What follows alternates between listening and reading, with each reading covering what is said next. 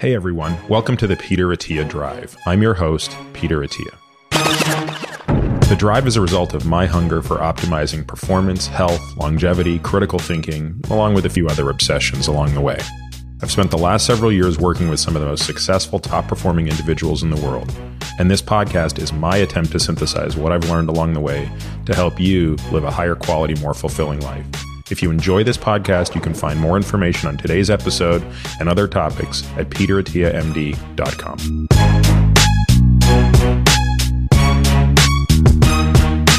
Hey, everybody, welcome to this week's episode of The Drive.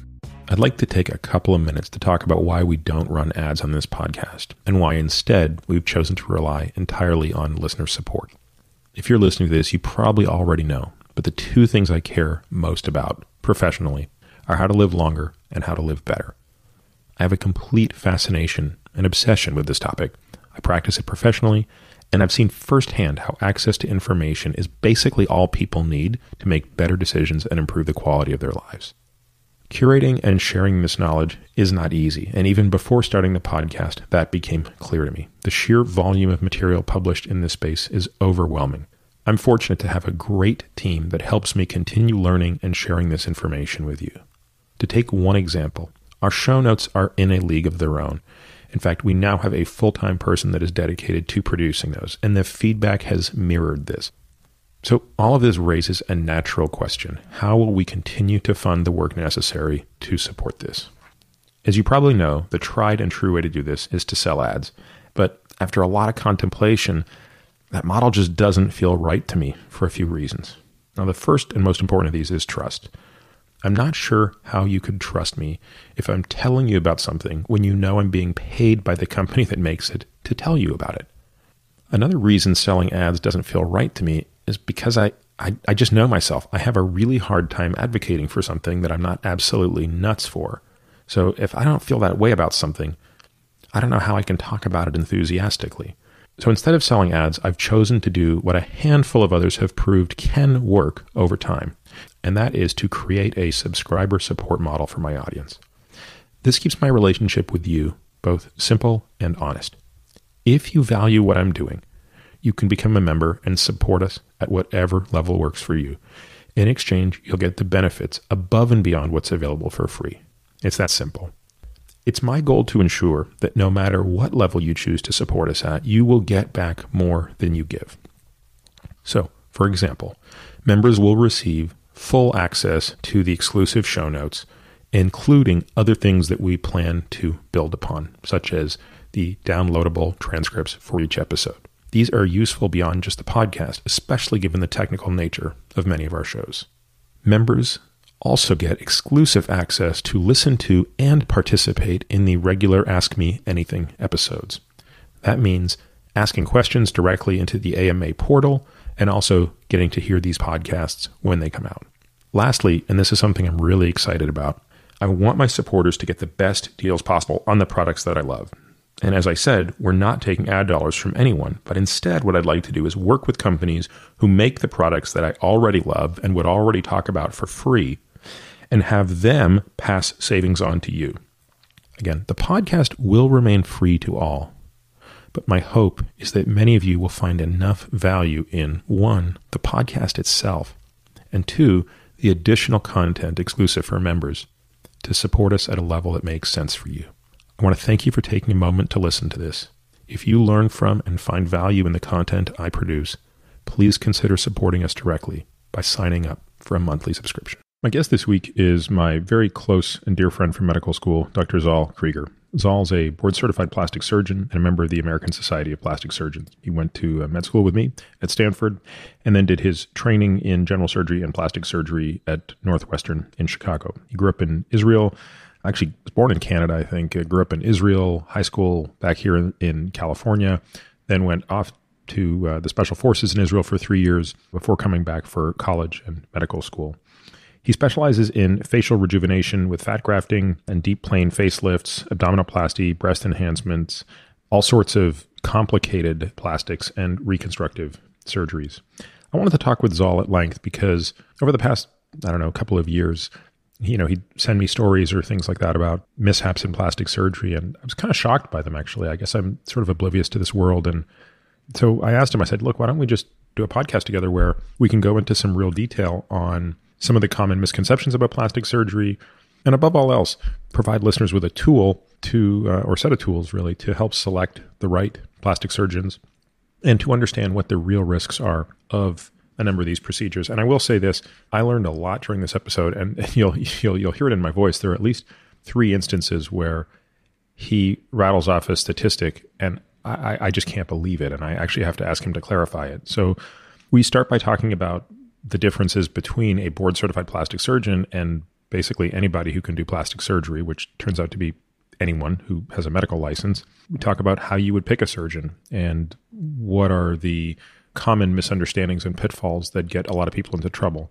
But really, we focus very much on breast augmentation, liposuction, the Brazilian butt lift, which I didn't realize prior to this procedure is not only as prevalent as it is, but perhaps more disconcerting than that, is arguably one of the most dangerous plastic surgery procedures uh, a person can have.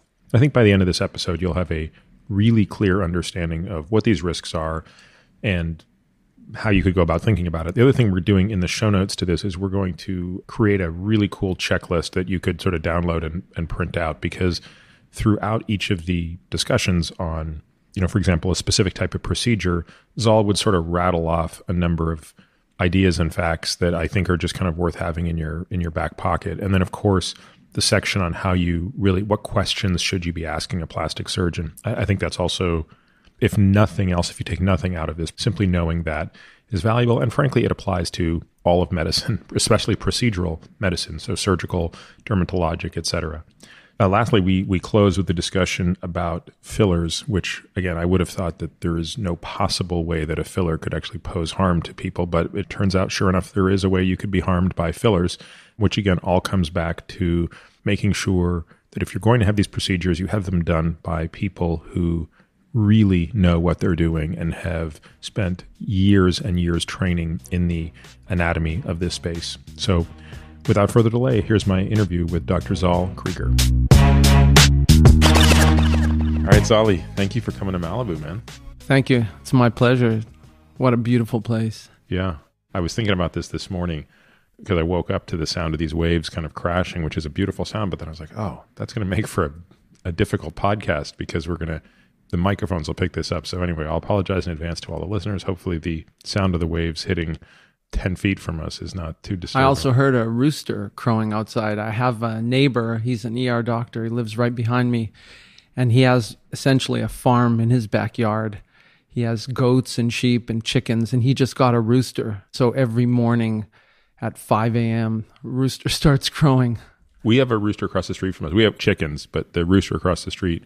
And everybody that stays with us says, Oh, does that rooster drive you nuts? Not only does it not drive me nuts, I love it. I love hearing that rooster at 5 a.m. I'm not sure why. It's good if you wake up at 5 a.m., but if you wake up at 6 a.m., it's not so good.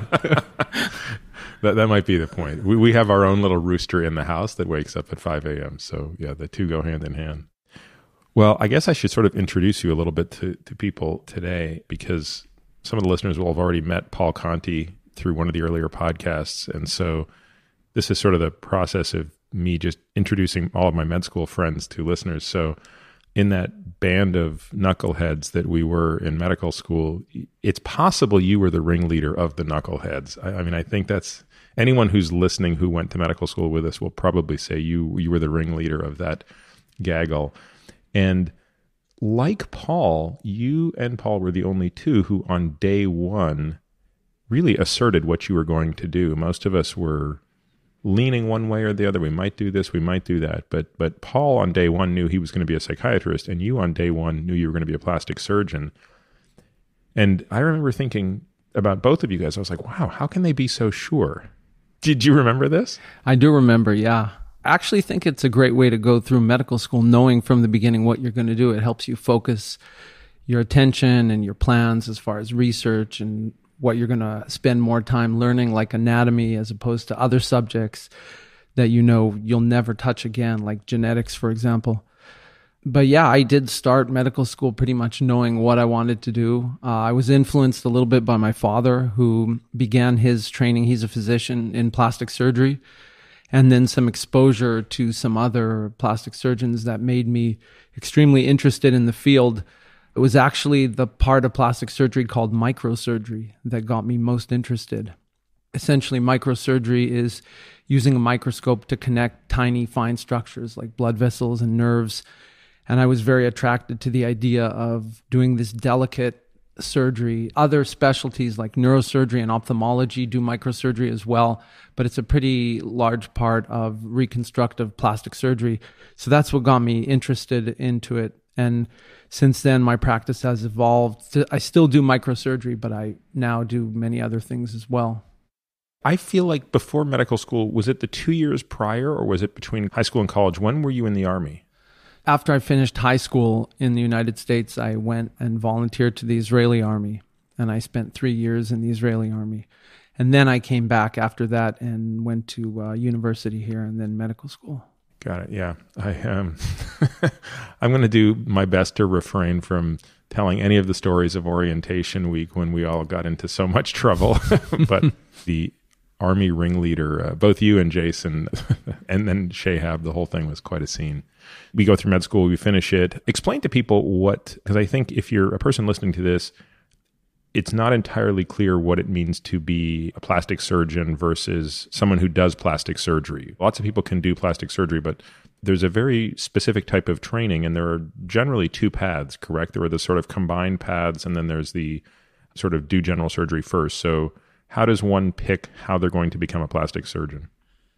Well, in the beginning, when plastic surgery began as a field, it was one of the surgical subspecialties. So, like vascular surgery or heart surgery or cancer surgery, people first did a general surgery residency and then went and did a fellowship in plastic surgery. Since that time, it's pretty much become its own residency. So, anywhere from six to seven years of training focused on plastic surgery with the first few years having an emphasis on general surgery, sort of learning the basics of operating and then focusing more on plastic surgery. You brought up a good point about there are many people who do plastic surgery who are not plastic surgeons. The numbers are probably 90 to 95% of all plastic surgery done in the United States is not done by board certified plastic surgeons. So only a small minority is actually done by plastic surgeons, which is mind boggling to me to think of how complicated some of the things we do are and to know that there are other specialists who are doing this without really having any formal training in it. Most people don't know, but in terms of the laws in America, any physician, once they receive their MD degree, can perform any procedure they want without any legal repercussions. So, a family practice doctor who gets his MD degree, he's one month out from medical school, can decide to do heart surgery, can decide to do brain surgery, he can put a catheter up someone's leg. Now, he's going to be limited by a hospital that won't give him privileges to do it at. And so he's stuck doing things in his office. Or if he builds a small operating room, he can try and do whatever he does in the operating room. But legally, he's allowed to do whatever he wants. And so you have many physicians uh, and even non physicians all over the United States doing plastic surgery, primarily cosmetic surgery. And there are, and they're not breaking any laws doing this. They're obviously not doing it in a hospital because hospitals are good at self policing and regulating and making sure that only people who are board certified in that and with training in that specific procedure can do it. So again, back to the training in plastic surgery, it's a six or seven year program where you focus mostly on plastic surgery, primarily reconstructive surgery. You're operating on the whole body, you're learning all the principles of plastic surgery. That's what I did after medical school. I did not know that it was that stark a contrast of the number of procedures being done or the relative proportion being done by non trained plastic surgeons. I, I certainly realized that there were many non plastic surgeons doing it. I I wouldn't have guessed that. I would have guessed 50-50 or something. No, the numbers are really high and it's it's all about the money. I mean, this is all cash pay. None of it is done through insurance and it's a way for other specialists to augment their income. So we see, even in my community here in the greater Los Angeles area, hundreds and hundreds of physicians of all walks, gynecologists, ER doctors, general surgeons, family practice doctors, internal medicine, who have no training, no knowledge whatsoever, just decide I'm going to start doing Botox, I'm going to do fillers. Then they purchase a laser. Then they do liposuction, first office base. Then they're doing breast augmentation and other surgical procedures. It's getting more and more common. That I would have never guessed. I, I could sort of imagine screwing around with Botox, although even just a little bit I've learned in talking to people who are really good at this, the difference between knowing what you're doing and not knowing what you're doing with Botox is enormous. And furthermore, eventually, if you have enough bad Botox, I mean, you only need to watch reality TV for one day to see what that looks like. So the results of this can actually be irreversible. I mean, you can you can get enough bad procedures done where even a good person coming along isn't going to salvage it. Absolutely. The classic example for this is a lot of these new liposuction type devices that use a laser or other type of energy to heat up the tissue and a lot of this is done as an office based procedure and so we see multiple physicians out there of various specialties who buy these machines. They have reps that come to their office and really convince them that it's the best thing out there since sliced bread and they start using these devices and they can cause really unrepairable damage primarily liposuctioning the abdomen and you know the thighs and just burning the skin and creating all sorts of contour irregularities that are just almost impossible to fix. Our term in plastic surgery is we call them liposuction cripples. They basically have essentially unfixable problems.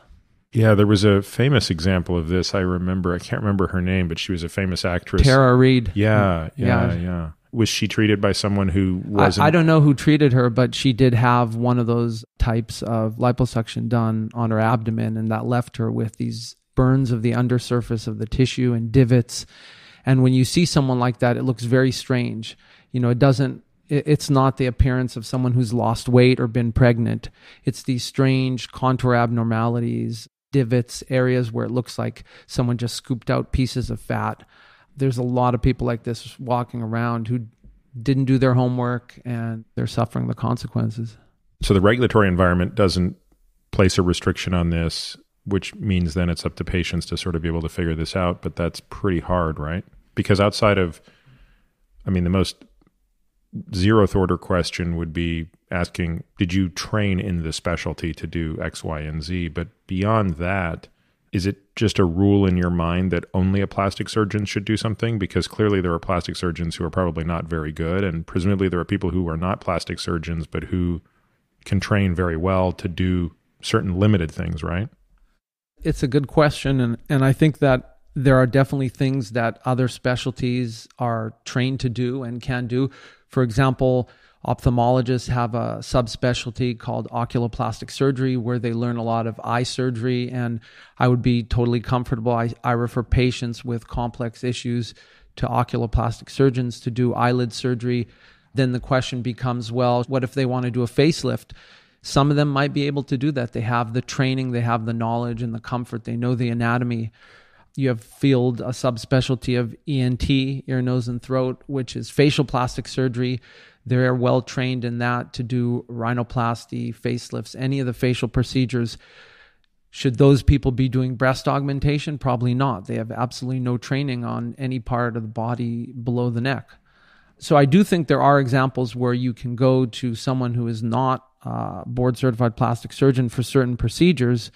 However, I think it's important to do good research and you know, it's tough. You have to know the right questions. It's interesting that I probably only get asked about once a year by a patient, Are you board certified in plastic surgery? People don't ask that. People are much more focused on what kind of person you are. Do you seem nice? Are you confident? Do you seem caring, empathetic? Do they have a connection with you? They care a lot about price. It's so amazing to me. I have a nurse who's worked for me for five years and she had some bad plastic surgery by someone else and wanted me to fix it. And I told her I'd be happy to fix it. I gave her the price, I gave her a heavily discounted price. Obviously, she's my nurse. And she went to some other guy who essentially was one of the guys who botched her first surgery. And he told her he would do it for much less cost. He's not well trained and um, he's not that good a surgeon. And she ended up having surgery with him just a few days ago, all based on the price. Even though his plan and my plan were completely different, she's seen me work. She knows that I'm a safe, good surgeon. She trusts me and she decided just based on price to go with someone else. So when you see an example like that, here's someone who is in the field, they're constantly surrounded by it, yet they're going to allow something, you know, like money be their determining factor on where to go. You have to imagine that for the average person out there who has very little knowledge, it's difficult for them to make the decision. I mean, people think that plastic surgery is like buying a luxury item like a Mercedes or Rolex watch, where it doesn't matter if you go to the guy at the mall or if you order it online. A watch is a watch, you know, a car is a car. It's not like that at all. It should be approached no differently than, you know, as I've heard you talk on your podcast with other physicians about picking the right surgeon for a heart surgery or brain surgery, picking the right doctor to treat any type of medical problem. You have to do your research and make sure you're getting the right person. So, besides asking if a person is trained in plastic surgery, boarded in plastic surgery, has had any lawsuits against them or files claimed, what other questions can people be asking? So if you if you had a friend or a relative in another part of the country and they weren't going to come out and see you, but they were going to go and scour the DC area, what would be the checklist you'd give them to narrow down their search? Some of the important questions are how long have you been doing this procedure? How did you learn how to do this procedure? I mean, there's a big difference between saying I've been doing this from the start of my residency. I did a six year or seven year residency, learning this. We did it hundreds of times. And then I've done it hundreds of times on my own since then. That's a big difference than someone saying, Well, I didn't really learn this in my training, but I took a weekend course on how to do this. I would ask the person where they trained and what field they trained in. I think that's important. There's no doubt that you can be a great surgeon and train at a lesser known facility as with someone who is a great teacher and has taught you well and you're a great student you don't have to be at the top program to become a good surgeon but all these things add up i would definitely ask for referral from patients who've gone through the procedure to talk about it I would ask for pictures. Good plastic surgeons have a lot of before and after pictures of their work. That's a luxury we have that other surgeons don't really have. They can just say numbers, you know, my success rate at this operation is this. But in plastic surgery, we have photographs to show that. And, you know, a good question to ask is what if something bad happens to me? What's the plan? Where do you have hospital privileges? Do you have hospital privileges for this procedure? You know, the majority of plastic surgery in the United States is done in small surgery centers, either owned by the plastic surgeon or owned by some other physician where they go and work at. And they're not equipped to take care of re- real serious problems. And so you need to know what happens if there's a problem do you have privileges to take care of someone who has bleeding after a tummy tuck? There's a gynecologist who does the full array of plastic surgery in my community. He has a lot of complications.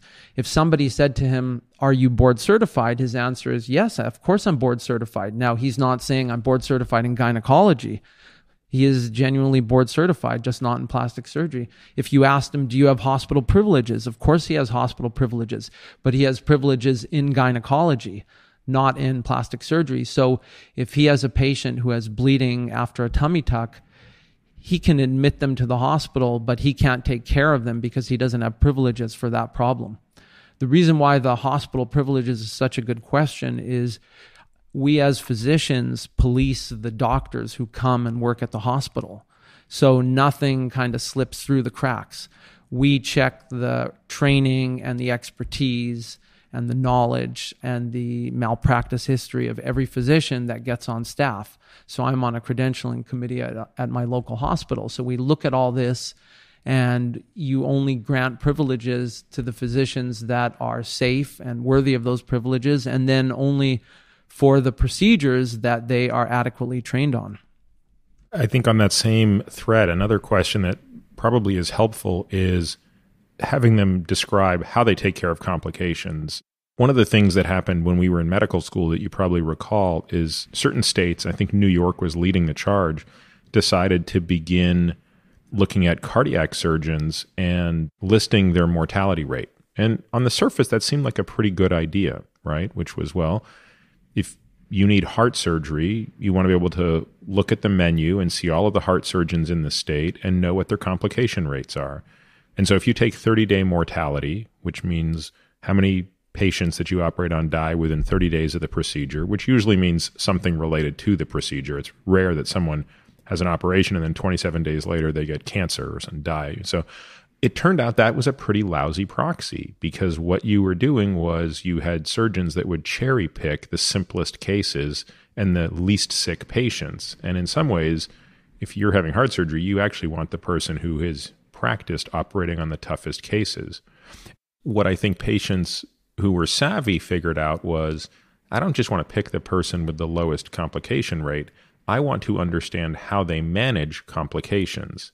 And this gets to your point, which is there's a very big difference between the ICU, when you're talking about heart surgery, that is, the ICU in sort of a podunk hospital that rarely sees complications versus the ICU at a major tertiary center where day and night it's very complicated, very sick patients, and you've got an entire team that can do it. So, is there a way to sort of come up with an analogy in plastic surgery, which is how often do you see complication X, and what is your protocol or path to deal with that? That's a really important question. And for us, our complications, we divide them into two parts the early acute complications, which happen immediately after surgery. These are primarily bleeding, infection, fluid accumulation called a seroma, which we would usually see in, for example, a tummy tuck. And then the late complications. And the late complications are primarily aesthetic. So essentially, you just aren't happy with the result. You don't like how it looks. So you want to ask the plastic surgeon what their incidences of each type of complication, you know, how often do you have to take someone back to the operating room for bleeding? How often do people get infection after this surgery? And then if that happens, how do you manage it? It's it's a key point because someone like myself, I have my own operating room, fully accredited operating facility. So any complication that requires a return to the operating room, like bleeding, for example, I have a facility to take care of this. Somebody who doesn't have a facility where they work at and they do everything in their office, if they have a complication that requires a trip back to the operating room, they're stuck and the patient is financially stuck. I can do it at no charge for the patient, and that's sort of included in their cost. Wait a second. I didn't I never even thought of that for a moment. So if a patient comes to you and they're getting a tummy tuck and the the figure it, it costs X dollars and they go home and then they call you that night and say there's a lot of swelling here. You you have them come back in you look and you realize there's a blood vessel that's still you know bleeding. You operate on them in your suite an anesthesiologist comes back in they're back under anesthesia they're doing a whole thing. That's bundled within the cost which makes sense to me right? That that should be. But are you saying that if a patient has a procedure with someone who doesn't have their own accredited OR and the complication has to go into a hospital the patient is on the hook for that cost absolutely 100% and that that's a big source. Do they end up suing the physician yeah, after the absolutely. fact? That's a big cause of lawsuits. Money, obviously, and a big part of that is when there's a complication, and then the patient is responsible for that. So there would be a circumstance, for example, if I have a patient and they have to go to the emergency room, they're going to have to bear some of the burden of that cost. I'm not going to cover the cost of their trip to the emergency room. But most complications after surgery, I can take care of in my clinic. So that's a key thing to work out ahead of time with the surgeon. What how are these complications managed both in terms of the actual management but then from a cost standpoint, how are they managed? And and that's something you have to work out. And then for the long-term issue, you know, what if there's a problem with the scar? What if there's a little extra skin on one side? What if it's a little uneven where they had the liposuction? Whatever the issue is, one implant is higher than the other. How do we address that? I'm not happy. And that's something you have to work out. And I think that's less of an issue of the training of the plastic surgeon and more the individual's integrity and sense of, you know, what is morally correct and, and fair to do with the patient and it varies you know there's no right answer. For some problems i fix it at no charge. I say this is clearly you know i'm a big strong believer in admitting when you're wrong. I think patients want that. And that's a in my mind a, a sign of a good surgeon with humility. If i did something wrong i will say to the patient i made a mistake here. This did not turn out well. For example, one of your implants is higher than the other implant, and that needs to be corrected, and I'm going to correct that at no charge if it's an issue where nothing was done wrong, but the patient is just unhappy with the result. The implants are too small. I want larger implants. Then, in that circumstance, I might do it at no charge in terms of my fee, but I'll make them pay for the new implants and the cost of the operating room and the anesthesia. So it, I think it depends. It's on a case by case basis, but these are all really key things to hash out ahead of time with the surgeon. You know, it's an interesting point you raise. I remember in medical school, maybe not medical school, I'm sorry, in residency, and I think I've even discussed this on previous podcasts. There was this real sense that if complications took place, you weren't really permitted to speak with the family after and things like that. And I always found that interesting because I think the research was pretty clear that patients didn't sue necessarily in proportion to the error. They sued in proportion to the lack of communication and the friction with the treating team. So a team that, you know, a physician that was very arrogant and non-communicative after a complication is much more likely to be sued than sort of admitting that you've made a mistake, which is very counterintuitive in our culture, right? To be able to say, I made a mistake here and let's figure out how to fix it. And, and it turns out that's less likely to elicit a lawsuit. Yeah, absolutely. I found that in my own practice and observing other doctors as well. I think that people in general, they just want honesty. They want honesty from everyone around them and they want honesty from their doctors. And you just have to be honest. If something happens, if there's a complication, you have to be honest about it. You have to talk about it. You can't run and hide from it. I mean, I've heard other people you've talked to on the podcast, like Eric Shayab talked about this. You have to embrace your complications and not run from them. And people appreciate that. And you're absolutely right. They don't go after doctors in a court of law or in any other way just because of a bad result. It's more how they feel, how they feel they're treated, how how it's dealt with. I think that the financial aspect of it is a, is a major part of distress and unhappiness on the part of the patient. And so it's really key as the doctor to make sure you do what's fair and you stand by your work. I mean, sometimes it's worth it to eat some money and not make a profit on a case if it means that you're you're doing the right thing for the patient. In business in general i mean we see this in all areas of business. You just have to be smart about it. You finished your residency in 07 2008 2008 so do you remember the first time you were in because it's it's a pretty scary thing i'm guessing when you go from doing that last case as a fellow where yeah you're actually doing the entire case but there's an attending surgeon nearby to now you're the surgeon of record. You know, that first case when you are on your own. Do you remember the first complication you had where it was 100% you? I think it's hard to sort of ever say, well, a complication is 100% on the part of the surgeon, but I do remember early on in a microsurgery case, very soon after completing training, where inadvertently cutting a blood vessel that you were trying to preserve and then spending a couple hours under a microscope trying to repair a blood vessel the size of a toothpick. You know, when you're doing microsurgery, you're working with structures that are very small and very delicate. And you have this device called an electrocautery or bovie that emits heat and is used to coagulate blood vessels. And if it gets too close to one of these blood vessels, you can damage it. And so some of the surgeries we do, specifically like breast reconstruction after cancer, we're relying on one tiny little blood vessel to keep the tissue alive. The blood vessel is essentially one to two millimeters in diameter. And if you get too close to it with a cautery, you can damage it. And so I remember doing that on one case and then having to repair that blood vessel.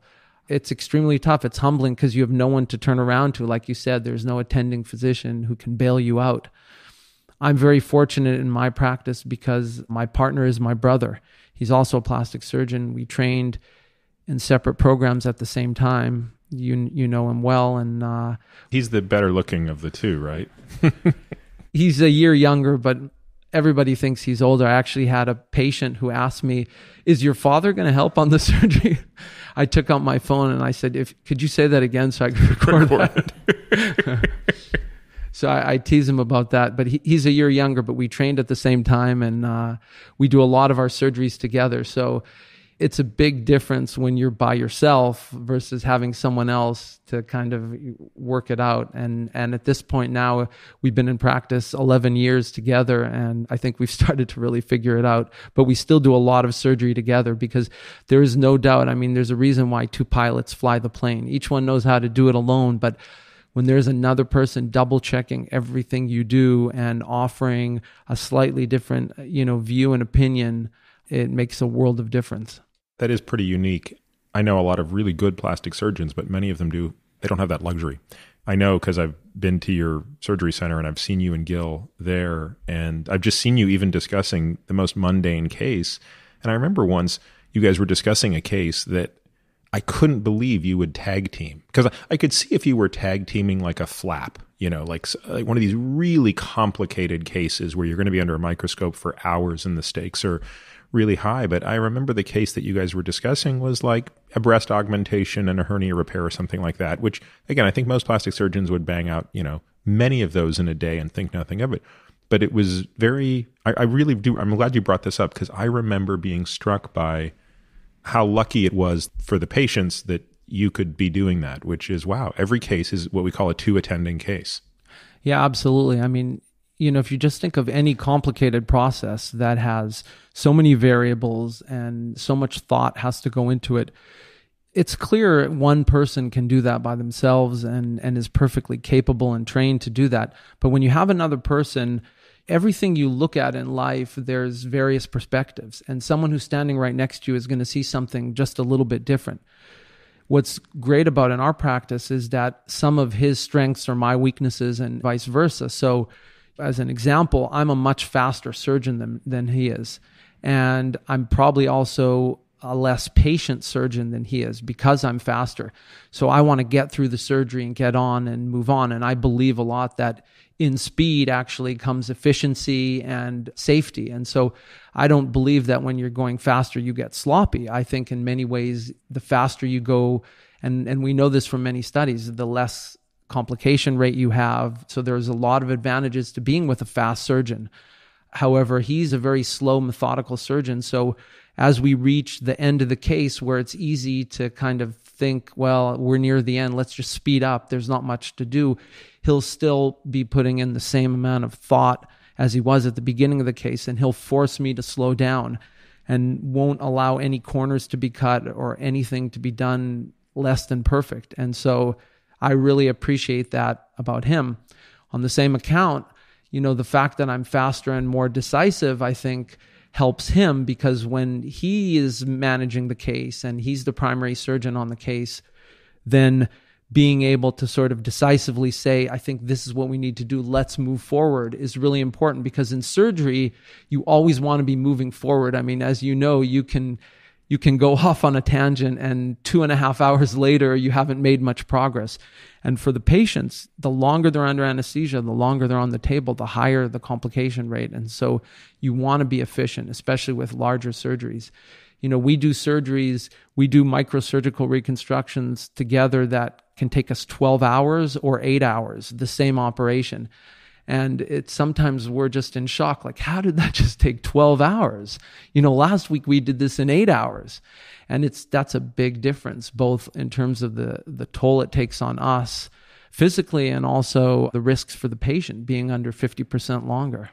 Yeah yeah the risks of anesthesia a lot of people don't appreciate that. And i remember having great senior residents in residency that really made that point which is look it's you know you're you're in here to work as quickly as you can safely for that reason simply less exposure to anesthesia is better let's talk about a couple of operations maybe in a bit more detail as ways for people to understand how to go through the process and maybe even just be better equipped to know what the complications are. I'll give you an example. Let's start with breast augmentation. Let's separate this from breast reconstruction following, say, mastectomy One I know had a breast augmentation, and I don't know, several months later, she told me she had developed this complication where they were there was like some contracture around it, and it was the the implant was sitting very very high. What's the name of that? That's called capsular contraction. Ca- capsular contraction, which I'd never heard of. But of course, why would I have heard of this? I don't know anything about plastic surgery. And I was like, huh, that's really odd. Did you know this was a potential complication? And she said no. And I said, this wasn't discussed in the consent for the procedure? And she said no. And I said, well, what does the surgeon propose to do now? And she said, just to repeat the procedure and the, you know, the probability of it happening twice is pretty low. And I said, okay, I mean, I guess so. And the surgeon, I think, had taken the approach that you described, which was, you know, he was on the hook for this 100%. So, so I don't actually think this is a criticism of the surgeon at all. So he repeated the procedure, and sure enough, it happened a second time. And at this point, I was like, wait a minute. I think you need to get another opinion before you go back and start fixing this. So, and I remember actually talking with you about this, but let's just start with that as an example. What what is this? What's the frequency with which it occurs? Why does it occur? How how would, how should it be managed? So, capsular contracture is the most serious complication, long term complication from breast augmentation. And the incidence is anywhere from 2 to 8%. And like with a lot of. That's a pretty broad range. Yeah, it's a broad range. And it varies based on the surgeon, it varies based on the implant type. Some implants have a lower complication rate some types of breast augmentation have a lower complication rate. For example, there are saline implants and silicone implants. Traditionally, saline have a lower complication rate, closer to 2%. The silicone have a higher complication rate. The implants can go under the muscle or on top of the muscle. Implants put in under the muscle tend to have a lower capsular contracture rate because the muscle provides some sort of protection from it. Implants on top of the muscle have a higher capsular contracture rate. It's really the thing we're trying to avoid the most in plastic surgery. And some surgeons have a higher rate. Essentially, what it is, it's the formation of scar tissue. Anytime you put a foreign body inside of inside of a human being, whether it's in their knee or uh, implant in the breast, the body forms a reaction around it to wall it off, and that's scar tissue. And that's called a capsule. Normally, it's supposed to be soft and pliable like a balloon. But if the body forms an abnormal capsule, it becomes hard and it contracts or squeezes down on the implant and causes pain and distortion and typically displaces the implant up higher. So the side that's contracted, the breast is very hard. It looks strange. The implant's sitting higher. It even looks smaller because it's being squeezed by this scar tissue and it can develop within months after surgery. It can take years. We still don't know exactly why it happens. We think bacteria are the culprit. And meaning bacteria are leading to an aggravated response. Correct.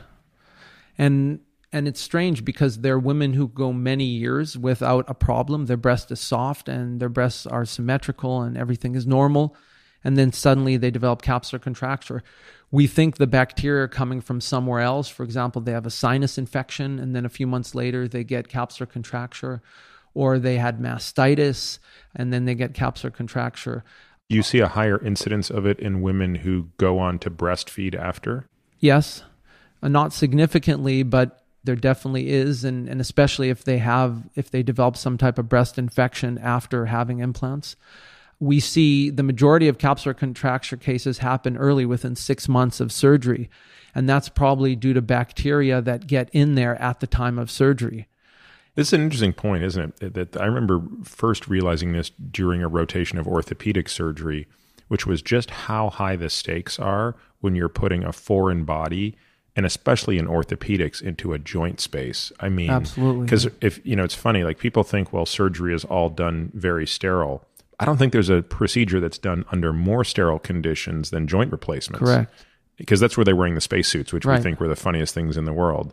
To just take it to that level. So again, it speaks to the nature of how privileged is the site, and are you actually leaving something foreign inside?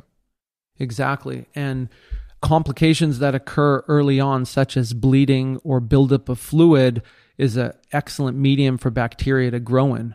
So if you have a woman who has a small hematoma, a small amount of bleeding on one breast, that woman has a significantly higher risk of developing capsular contracture. And the reason is probably that that that blood that's bathing the implant is a great medium for bacteria to grow in. So, you know, there's a lot of strategies that are recommended and that we take to minimize uh, the risk of this happening, but yet it still happens in a certain percentage.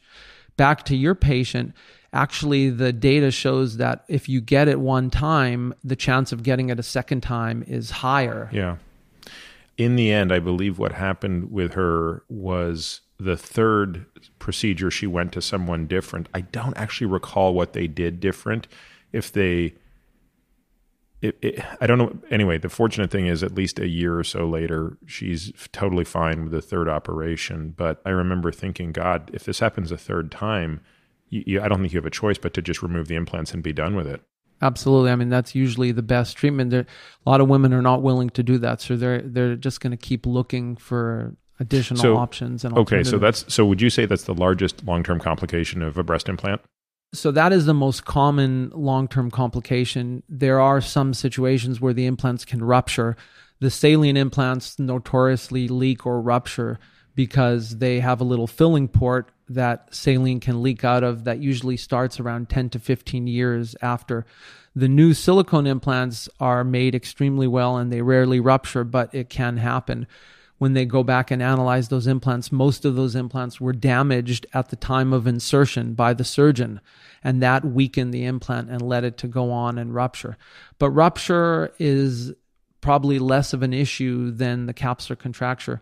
One of the things that I wanted to talk about, which is a rare complication, but we're seeing it more and more, and it's scary, is called ALCL, and that stands for anaplastic large cell lymphoma. And this is a type of rare cancer that we're seeing in women who have breast augmentation. Interestingly, it only happens in implants that are textured. So implants can be either smooth on their surface or rough textured on their surface. There's a number of reasons why they develop these rough textured implants, but for some reason, the texturing triggers this autoimmune type response where they not only develop capsular contracture around the implant, but the body sort of goes haywire and and develops this lymphoma. It's similar to a cutaneous lymphoma, which is a lymphoma of the skin, so it's not as high risk for metastasis and invasion as a, a typical lymphoma can be. But it's a type of lymphoma and it occurs in the capsule that surrounds the implant. It can invade into the breast. And when we started to see these cases, the first one was sometime around 10 years ago, they found. We, since that time, have seen hundreds of cases worldwide. Initially, we were telling women the incidence was maybe one in 300,000. Now they know that with certain implants, it's actually one in 3,000. And to be clear, there are no cases of this in non-textured implants. Correct. All the cases have been only in textured implants, none in smooth implants. So presumably the FDA has to weigh the risk of that because the, these textured implants are still permitted in use. They're still permitted. They still account for a large number of implants being used. The FDA just met a couple weeks ago in April 2019 to review all this, and they decided to let them stay on the market.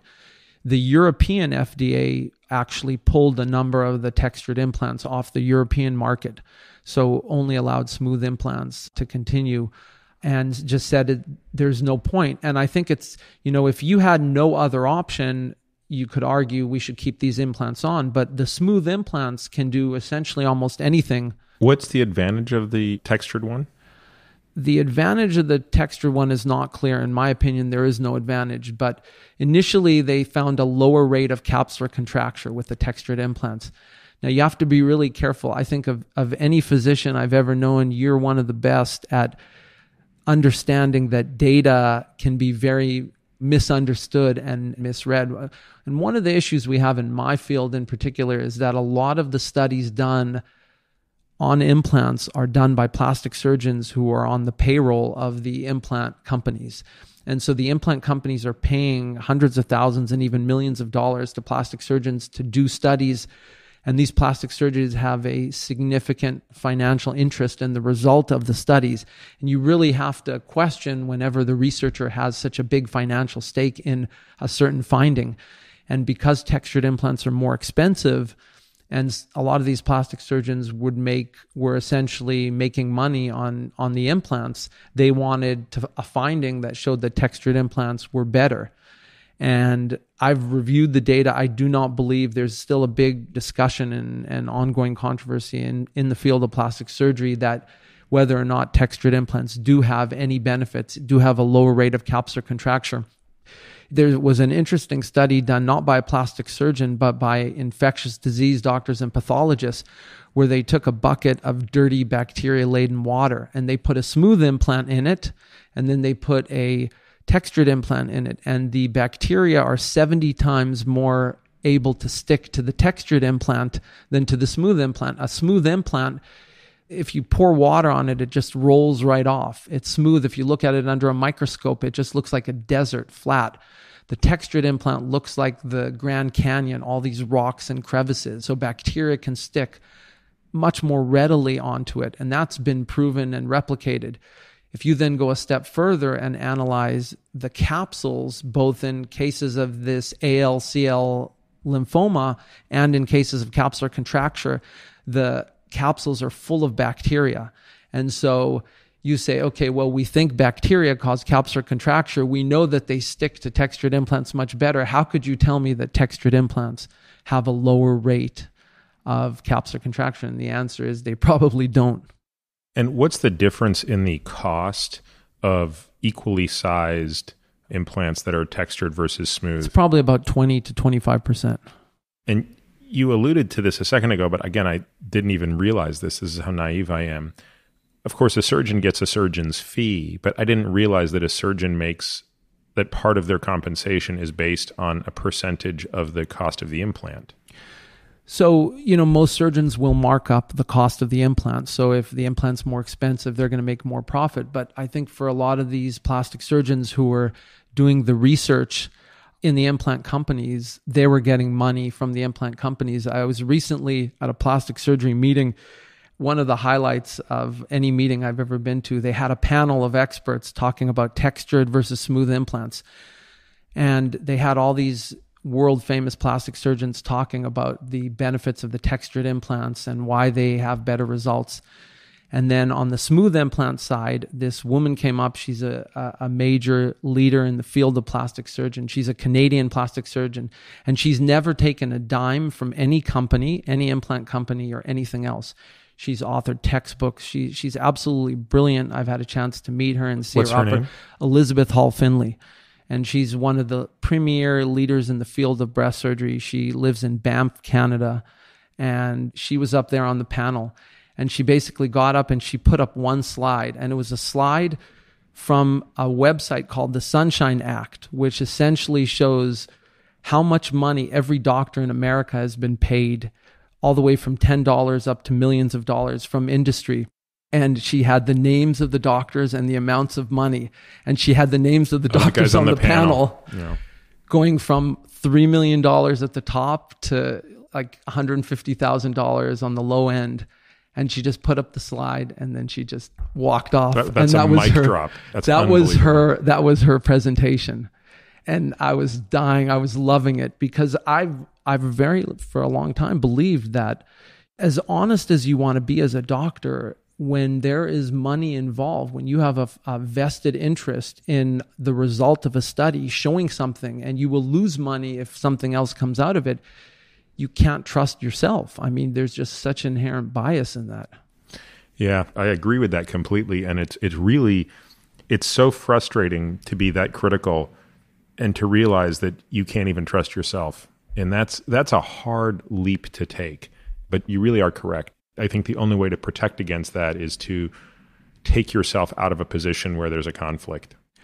Specifically with the the textured implants, what I believe led to a lot of the data, and this is understanding the difference between correlation and causation, which I've, I've heard you talk about a lot before, is that there is a newer type of implant, and they call it the gummy bear implant. And it's a teardrop shaped anatomic implant. So most of the implants we use are round, but these newer implants are teardrop shaped. They were designed, they came out in the year 2000 in Europe, and the FDA approved them around the year 2010 in the United States. So, for the first 10 years of their development, they were only on clinical trials in the US, but they were being used regularly on hundreds of thousands of women in Europe. 100% of these teardrop shaped implants are textured.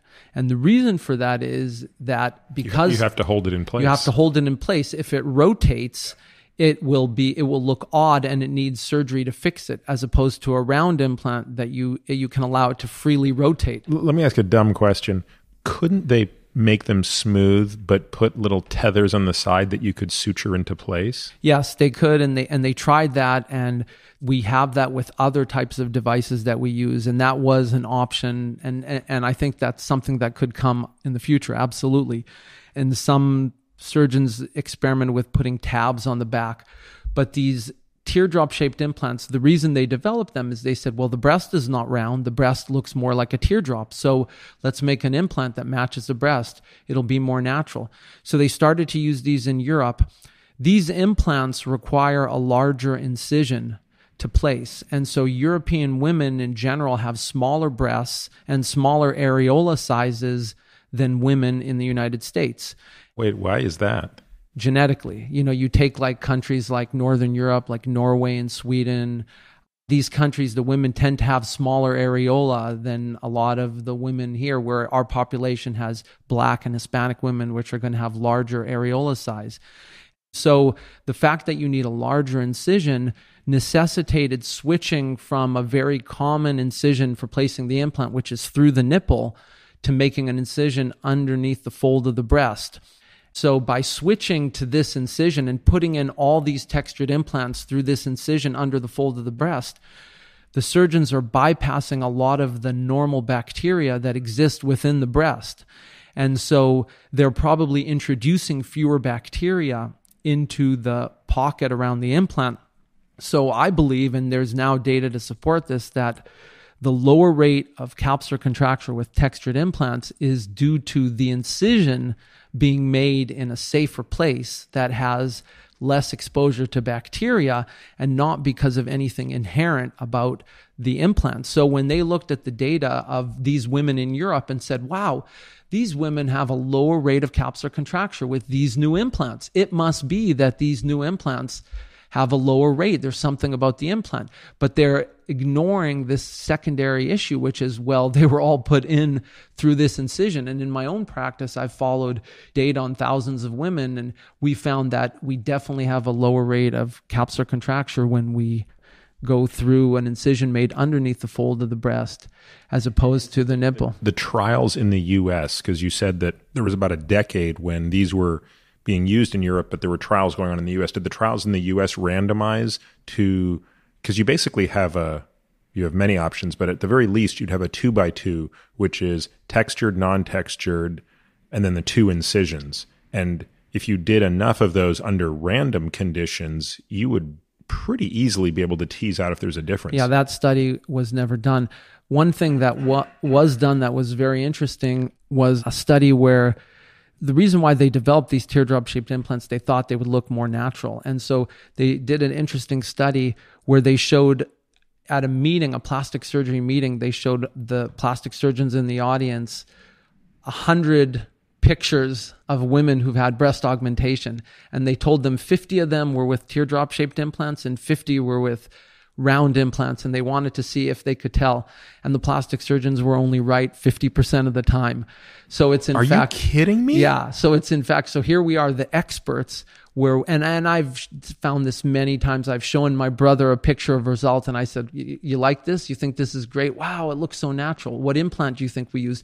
That's got to be a teardrop shaped implant nope it's a round implant and and so, you know, there's many other factors that lead. Wait, wait. That is the most stunning thing you have yeah. said so far in this discussion. And you've yeah. already completely surprised me several well, it's, times. It's hilarious because once that study came out and that was replicated, suddenly we realized, and this study was done several years ago. And so I've mostly abandoned the teardrop shaped implants because the benefit we thought they had, which is they give a more natural result, is is complete BS. It's not true at all, and this has been proven.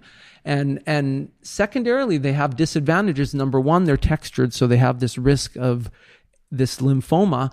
They're more expensive, they can rotate, and they're harder and firmer to maintain their teardrop shape. And so they feel less natural when you touch them.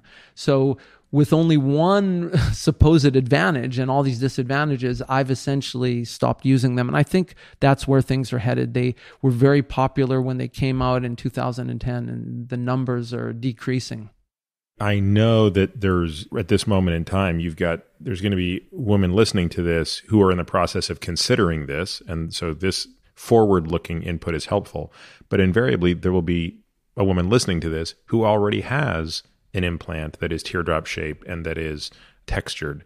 Is there anything that that woman needs to do to be does that, does that woman need to be concerned? Or if she's doing okay she's probably one of the lucky ones. I mean statistically speaking most women are going to do fine with these implants and hopefully the complications when they happen are in the past but is there some sort of surveillance or ongoing concern or consideration for women who have had said implants?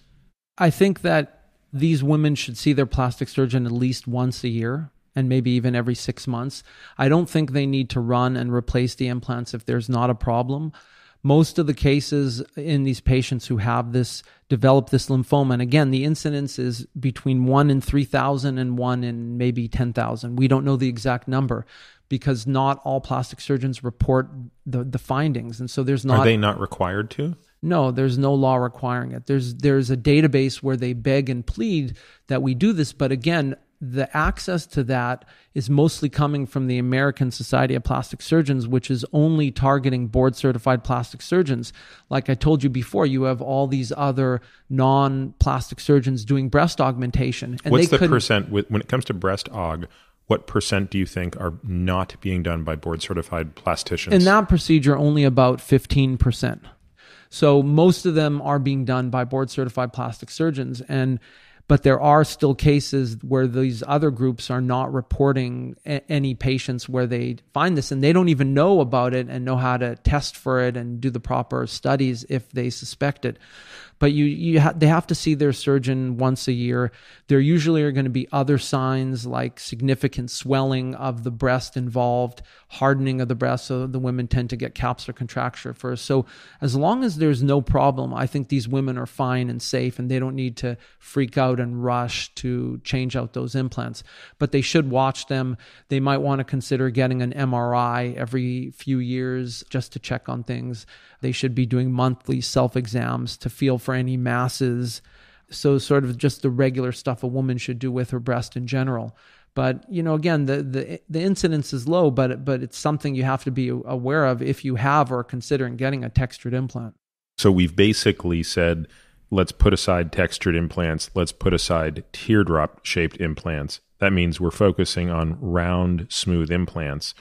Do you have a point of view prospectively on silicone versus saline? The saline implants were developed in the 90s when silicone implants came off the market. Which is like one of the greatest screw ups in the history of right. medical regulation against a, tech, a, a right. You know, it, it, was an example of how a single newscaster on ABC, Connie Chung, could bring women on the show crying, blaming their problems. I mean, we've seen this with vaccinations where one person said they cause autism and next thing you know you have thousands of children not getting vaccinated because of this fear and then it's disproven but it takes a while there's a great quote and i'm going to bastardize it but the, the gist of it is a lie can travel around the world faster than it takes the truth to put its shoes on that's very true so the silicone implants came off the market. They were a, a, bad product, the old silicone implants. The silicone was liquid if you poked a hole in the implant, it would drip out like honey.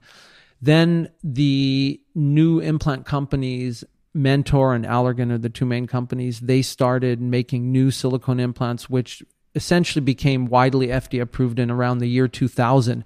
And so for almost 20 years now, we've had these newer generation silicone implants, and they're quite good. I mean, they look and feel more natural, they're softer. You know, a, a saline implant is a shell of silicone filled with salt water instead of silicone on the inside. And so the outside is still silicone, but they don't look as natural. They don't feel as natural. They're essentially like a water balloon. They have a higher incidence of rippling and they don't last as long. They start to leak after 10 to 15 years, although there are definitely women that can go longer. They're a little bit cheaper than the silicone implants.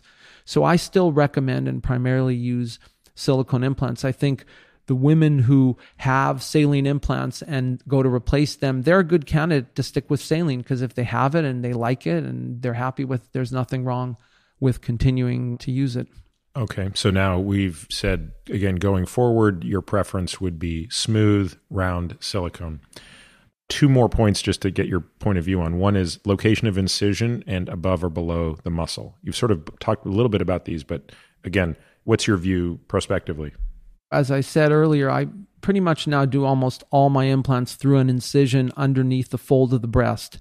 It's a hidden incision. There are patients where it's going to be more visible, but again, we're trying to avoid capsular contracture. That's the worst complication. And if we believe that bacteria are involved with that, then we want to avoid that. And so, an incision through the armpit or through the nipple, you're making an incision in a location where there are more bacteria and you're cutting through nerves, both in the armpit and in the nipple. And, the, and studies show that there is a higher rate of pain and numbness and issues associated with going through those two sites. So I try to dissuade patients from using anything other than an incision under the fold. Do you let the patients decide ultimately? I let the patients decide, but I present a strong argument based on my own experience and the data that's out there. And I think most people they they're willing to listen and, and do the right thing. I also put most of the implants in under the muscle or behind the muscle as opposed to on top of it. And there's a lot of data that supports the benefits of that. And and I think for most women it just they like the fact that it looks and feels more natural to have the upper part of the implant covered by the muscle. It's better for mammograms. It's uh, better, God forbid, if you develop breast cancer. It has a lower rate of capsular contracture. It helps support the weight of the implant as opposed to the implant just stretching out the breast when it's sitting on top of the muscle. So there's many advantages, and, and that's what I do. And, and a lot of plastic surgeons do that as well. What percentage of the breast surgery you do is augmentation for cosmetic reason without cancer versus reconstruction and or augmentation following cancer surgery? Probably 75% is cosmetic and 25% at this point is reconstructive. In that situation, the latter, meaning the reconstructive, what are your options? Because you can also use tissue flaps. I mean, it, it gets much more elaborate in that situation, doesn't it? Right. I mean, there's various options. You can use a woman's own tissue in the form of a flap, where traditionally we take the tissue from the abdomen and make a new breast out of it. You can use fat and essentially just inject the fat in a series of treatments where you graft the fat into the site where the breast was. We use implants, and that is one situation where we might still consider to use teardrop shaped implant because I think in a reconstructive patient, they're one of the few situations where there still is some benefit. And that's actually the only situation where I'm using the teardrop shaped implants is for breast cancer reconstruction those women have a lot of monitoring and everyone's on top of them because they've had breast cancer. So my concern with them is less about developing some type of lymphoma. I also think that because they've had a mastectomy, their body's ability to mount this autoimmune type response is lower because their lymphatics have mostly been cut. And so I'm a little bit less concerned, but but of course we still watch those women closely when we meet with women who have breast cancer and who are going to undergo breast reconstruction, we talk to them about the options, what their goals are. A lot of it has to do with what type of recovery they want. The the flap or autologous tissue based procedures where we use a woman's own tissue have a much bigger recovery as opposed to just putting in implants. And a lot of women aren't willing to undergo that. What is the advantage of the autologous? Does it look better? When you have a flap? Does it look more natural? It does look more natural, and the main advantage is you never have to deal with an implant and the complications associated with the implant for the rest of your life. You know, you can't reject your own tissue. It's soft, it's natural. And it's especially good for a woman who's only doing one side, where she has a natural breast, especially if it's more of a flat, hanging breast on the other side. It's hard to match that with an implant. If a woman's doing both sides, we'll usually lean more towards implants. But but again, it's really on a case by case thing. And how often do women in that situation require tissue expanders? And is it often a multi stage procedure, or what's the sequence of events from the mastectomy to the reconstruction? One of the things that's changed a lot in the field of breast cancer, you know, when you go back to the beginning of the mastectomy, one of the great mentors and great surgeons, uh, Halsted, who I think was from your alma mater, he initially thought that you had to cut everything out for breast cancer and he would remove all the skin all the breast and the muscle. And the muscle. Yeah and everything. And and where we've yeah and where we've come to today is to a nipple sparing mastectomy where essentially a lot of women are candidates for removing the breast but keeping all of the skin including the nipple behind in that case you can go directly to an implant reconstruction because you're not trying to manufacture new skin in the case of women who have to have their nipple removed, so you're moving removing a portion of the skin, you need to now restore skin that's been removed in the mastectomy. And that's where a tissue expander comes in where we stretch out the skin. And that's a multi-step process that takes a few months until we put in a final implant. Wow. You know, I was talking with somebody about this uh, recently, and they made the point about there's no analogous cancer, I guess, that is where you're dealing simultaneously with the cancer risk, the, you know, you have to remove this these cells, but also sort of the the threat to your psyche and the threat to your image and even if you look at something like testicular cancer or prostate cancer, it's not quite as visible in terms of the change that, that, that you're going through. I mean, obviously there's functional deficits that occur, but do you find yourself dealing with the psychology of that. I mean, dealing with with a with a patient who's sort of shell shocked and going through this simultaneous loss, right? Like the loss of this tissue and the cancer risk, but then the loss of part of my femininity.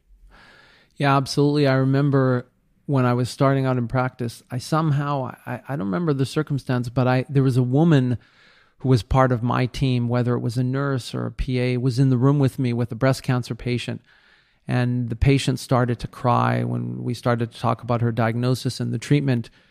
And I sort of sat there, you know, a little uncomfortable, not sure what to do. And she was crying. And the woman who was in the room with me, the nurse, if it was, she grabbed a tissue and gave it to the patient and then hugged her. And that episode really stuck in my mind because it made me feel inadequate at the time. And I didn't know if it was because I was a man or because I didn't have breasts and hadn't undergone breast cancer, or I didn't have a family member who'd had breast cancer. I wasn't sure what the reason was. I hadn't received the adequate sensitivity training, but I just felt inadequate to deal with it. And and I think since that time, I've become better at having developing the empathy and the understanding for what these women are going through. A lot of it has come through getting to know the husbands and the children and, and the parents where you know I talk to them and spend time with them and kind of get a better feel as the man what they're going through. It's a very complicated process and a lot of good hospitals have social workers and psychologists that help the women. We're seeing more and more breast cancer in younger women these days so it's a very devastating thing. I mean, for a lot of women, they associate their femininity to a large degree with their breasts, and, and losing that has a profound impact on them. That was a pretty awesome summary, at least to me, of I think I learned more about breast reconstruction in the last few minutes than I've ever known. Let's turn our attention to another operation. What what would be sort of another very common operation that shows up, liposuction or uh, what, your your pick? Yeah, I think a tummy tuck is one of the top five procedures, along with breast augmentation and rhinoplasty, facelift, liposuction. Okay, so tummy tuck. Let's define that for people. What's a tummy tuck? A tummy tuck is essentially a uh, procedure that involves removal of all the excess skin in the abdomen below the belly button in the central abdomen. It also typically involves tightening of the muscles that get stretched out as a result of pregnancy. 95% of tummy tucks are done on postpartum women who've had children, and their bodies have changed to a large degree after childbirth. This is probably as good a time as any to define the difference between a diastasis and a hernia, since the two sort of happen under these circumstances as well. And I assume that if either of those are present, this is the time to fix them. Absolutely. A, a, large number, I would say maybe even as high as 20% of women after pregnancy develop a hernia in the belly button. You know, the belly button was the site of your umbilical cord when you were in utero. And so there was always an opening there, and it scars closed when you're born, but it's an inherent spot of weakness.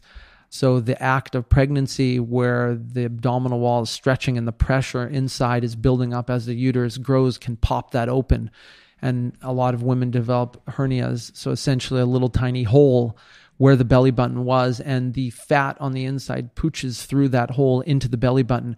So it gives you an outie, if you will, which is essentially a hernia. A diastasis is different. It's a separation of the rectus muscles. So the six pack muscles move aside, and then there's a gap in between. In many ways, it's similar to a hernia in that you have a weakened central area where stuff is pushing out against. And I've had patients with severe diastasis where you can literally see their intestines through their skin. It looks like a worm moving around inside. And that's because the tissue is so thinned out in between the muscles. Both of these would be addressed at the time of a tummy tuck. Now, the diastasis doesn't have the risks that an untreated hernia have. I mean, that's the other thing that I, that patients should understand is an untreated hernia can be catastrophic. Yeah, absolutely. Because with an untreated hernia, if something pushes through that hole and gets stuck, we term it an incarcerated hernia, that tissue can necrose or die away. And if it's part of the intestine, that can become life threatening. We know a little bit better now that if a hernia is asymptomatic, so a woman has no symptoms from it at all, same is true with a man you can just sit and wait on that. You don't have to treat it. Once it starts to cause pain or any other symptoms, it should be treated.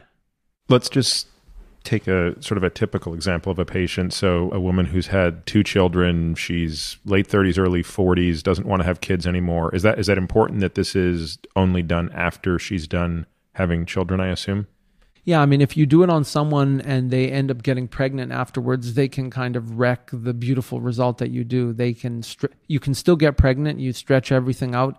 A tummy tuck can be done a second time if necessary. But ideally, and I tell patients, wait until you're done with children so let's say just for the sake of example she has pick one a hernia or a diastasis. Is one easier or more difficult to repair in the context of the tummy tuck assuming they're both of modest size not enormous?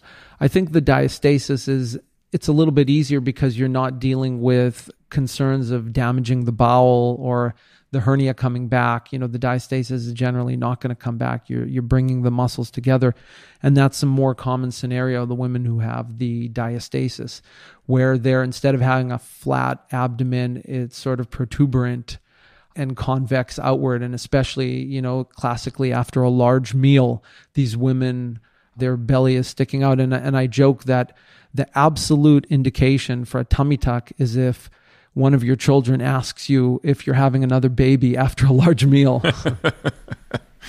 we'll call that the Kryger test. By the way, on that note, I want to just tell the listeners you should never ask a woman if she's pregnant. I have a lot of patients who people say, When are you due? Have you had the baby yet?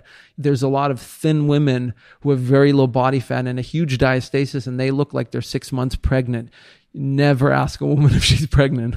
yeah, there's a great comedian I think it's Brian Regan who's got a whole bit on this.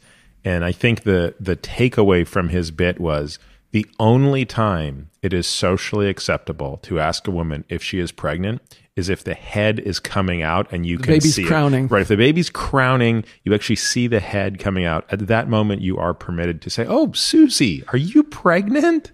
You know, but anything before that, no, you just you just shut that down. So does it matter, Zol, one way or the other, if women have had vaginal deliveries versus C sections, which also, of course, introduced that Pfannenstiel uh, incision, been like it's sort of very, very low abdominal incision because that's cutting through muscle. We can still do a tummy tuck in either way. The, Are they the more benefit- susceptible one way or the other? No, I don't think they're more susceptible. I think it has to do with genetics and the size of the baby and the weight at, at which one gained weight during the pregnancy. But I think that with the C section patients, we have the option to correct a lot of the issues from the C section, like scar tissue and, and indented tethered scars that bother a lot of patients or skin that hangs over the scar. So there's that additional benefit. So you'll go through the C-section. I'll actually go below it and cut it out completely because I want to make my own new incision. I think that in general, the vaginal delivery patients, and I don't know if it's from the act of pushing during labor or whatnot, maybe it's just the factors that coalesce to lead to them having a vaginal delivery. Yeah, it might be that a woman who can have a vaginal delivery has more elastic skin. She is more able to stretch, and and that while that permits her to have the vaginal delivery, it also makes her more susceptible to the stretching of the fascia. Right, and so we, we tend to see a little bit more uh, of a diastasis there, but but the rate of C sections has increased so dramatically in the U.S. I mean, I don't know the numbers, but it's probably approaching forty to fifty percent now. It's so common now to see women coming in who've had C sections and are coming in for tummy tucks. So, what is the actual procedure? So, you're making the incision, and obviously, there's a lot of skin removal. How are you going from this incision, just basically at the pubic line, all the way up to above the belly button to fix the diastasis? Are you? Are you I don't walk we are essentially lifting up all of the skin off the abdominal wall all the way up to the xiphoid, so right up to the breastbone, and we're exposing the entire abdominal wall. It's basically like a, an anatomy textbook. You're staring at the whole abdominal wall with the skin lifted up, and then we do the muscle tightening or the hernia repair. And the muscle tightening you do, you are literally bringing sutures together to pull the rectus muscles back such that you're, you know, when people look at a six pack, what they realize is the reason it's not a three pack is there's a fascial piece that goes down the middle that separates the left and the right side. And that maybe ought to be what, an inch apart? Even if that, maybe less, half an inch to an inch. Got it. So a woman with a diastasis will show up and that will be inches apart. Correct. And not only are the muscles apart, the fascia has been stretched out. So the muscles, instead of being flat, are actually protuberant. So you kind of get this sort of like mini beer belly, if you will. And so we're tightening the fascia, which is the outer layer of the muscle, and bringing it together so that the abdominal wall then becomes flat and tight. What percentage of the time are you doing this on a man? Because certainly a man who's lost a lot of weight could be in the same situation, correct? Yeah, they're definitely a minority. Five to ten percent of patients are men with this operation, and, and almost all of them are massive weight loss patients who've lost a lot of weight. They usually don't have a diastasis, so they don't need the muscle tightening, and it's all about just the skin removal in those cases. What are the biggest risks to this procedure? Biggest risk is fluid accumulation called the seroma after the surgery. You know, you've created such a, a, an enormous amount of space where you've lifted up the skin that you could put easily a liter of fluid to fill in that area. And so we use drains to drain the fluid out. And the risk is if you don't have enough drains or they're not in the right spot, and then after the drain comes out, the fluid can accumulate. And the incidence is about 10% to 15%. And if a woman develops that complication, does it require drainage or does it go away on its own? It usually requires drainage, and in rare cases, it'll go away on its own. And do you, as the plastic surgeon, do the drainage or does an interventional radiologist we do, do it? everything. I mean, in my practice, we manage all the complications. Occasionally, we'll send someone to an interventional radiologist. If, for example, the fluid is in one small specific spot and you need an ultrasound to see where it is, and we need them to put in a special type of drain. But 95% of the time, we're managing it ourselves in, in the clinic. So even if a woman develops a seroma, do they typically resolve with the appropriate follow-up drainage? Yeah, they usually do. Okay. Is it a big risk of bleeding or are you pretty much staying away from major blood vessels? Bleeding is a small risk and and I think the cases where it happens are the patients with larger blood vessels massive weight loss patients have very large blood vessels and so it's understanding when you need to tie off a blood vessel as opposed to just cauterizing it and really being meticulous and careful and again that goes back in my practice to having the two surgeons Every single thing is double checked. It's it's easy to miss something when you're by yourself. And uncontrolled blood pressure, so patients who have high blood pressure after surgery, that is an increased risk for bleeding, specifically on procedures on the face. And what about long term complications? What are the cosmetic issues that come up after women have had this? The main thing people complain about is the scars. They're unhappy with the appearance of the scar. A lot of patients gain weight or things stretch out and they end up with loose skin after the surgery. So it's nice and tight for the first year, but then it loosens up and they're unhappy with that.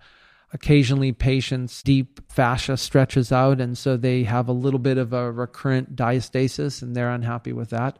But most of the patients are pretty pleased. When you combine liposuction with the tummy tuck, you, raise the stakes. Uh, it increases the complication rate a little bit. And uh, liposuction patients in general, I mean, it's a whole nother discussion, but there's a lot of unhappiness and dissatisfaction when it comes to liposuction. Can you predict in advance if a woman, assuming she hasn't already had a scar, she's never had a surgical procedure, I guess this is true for men as well, but since we're talking about a pretty big incision here in the tummy tuck, can you predict who's going to get a hypertrophic scar or a keloid? I mean, I know keloids tend to be more common in African American than white or Hispanic, but even absent a keloid, just people have very different scar morphology, and given the size of the scar here, that would seem to play a role in the long term cosmesis, right? Yeah, for sure, and, and and it's tough. I mean, in general, you, you really can't predict unless someone already has evidence of bad scarring what's going to happen. It's definitely a genetic thing. Asians and dark skinned patients have a higher risk of keloiding. Their skin is thicker and it's more sebaceous and it tends to scar worse. So we're always concerned more about that with our darker skinned patients.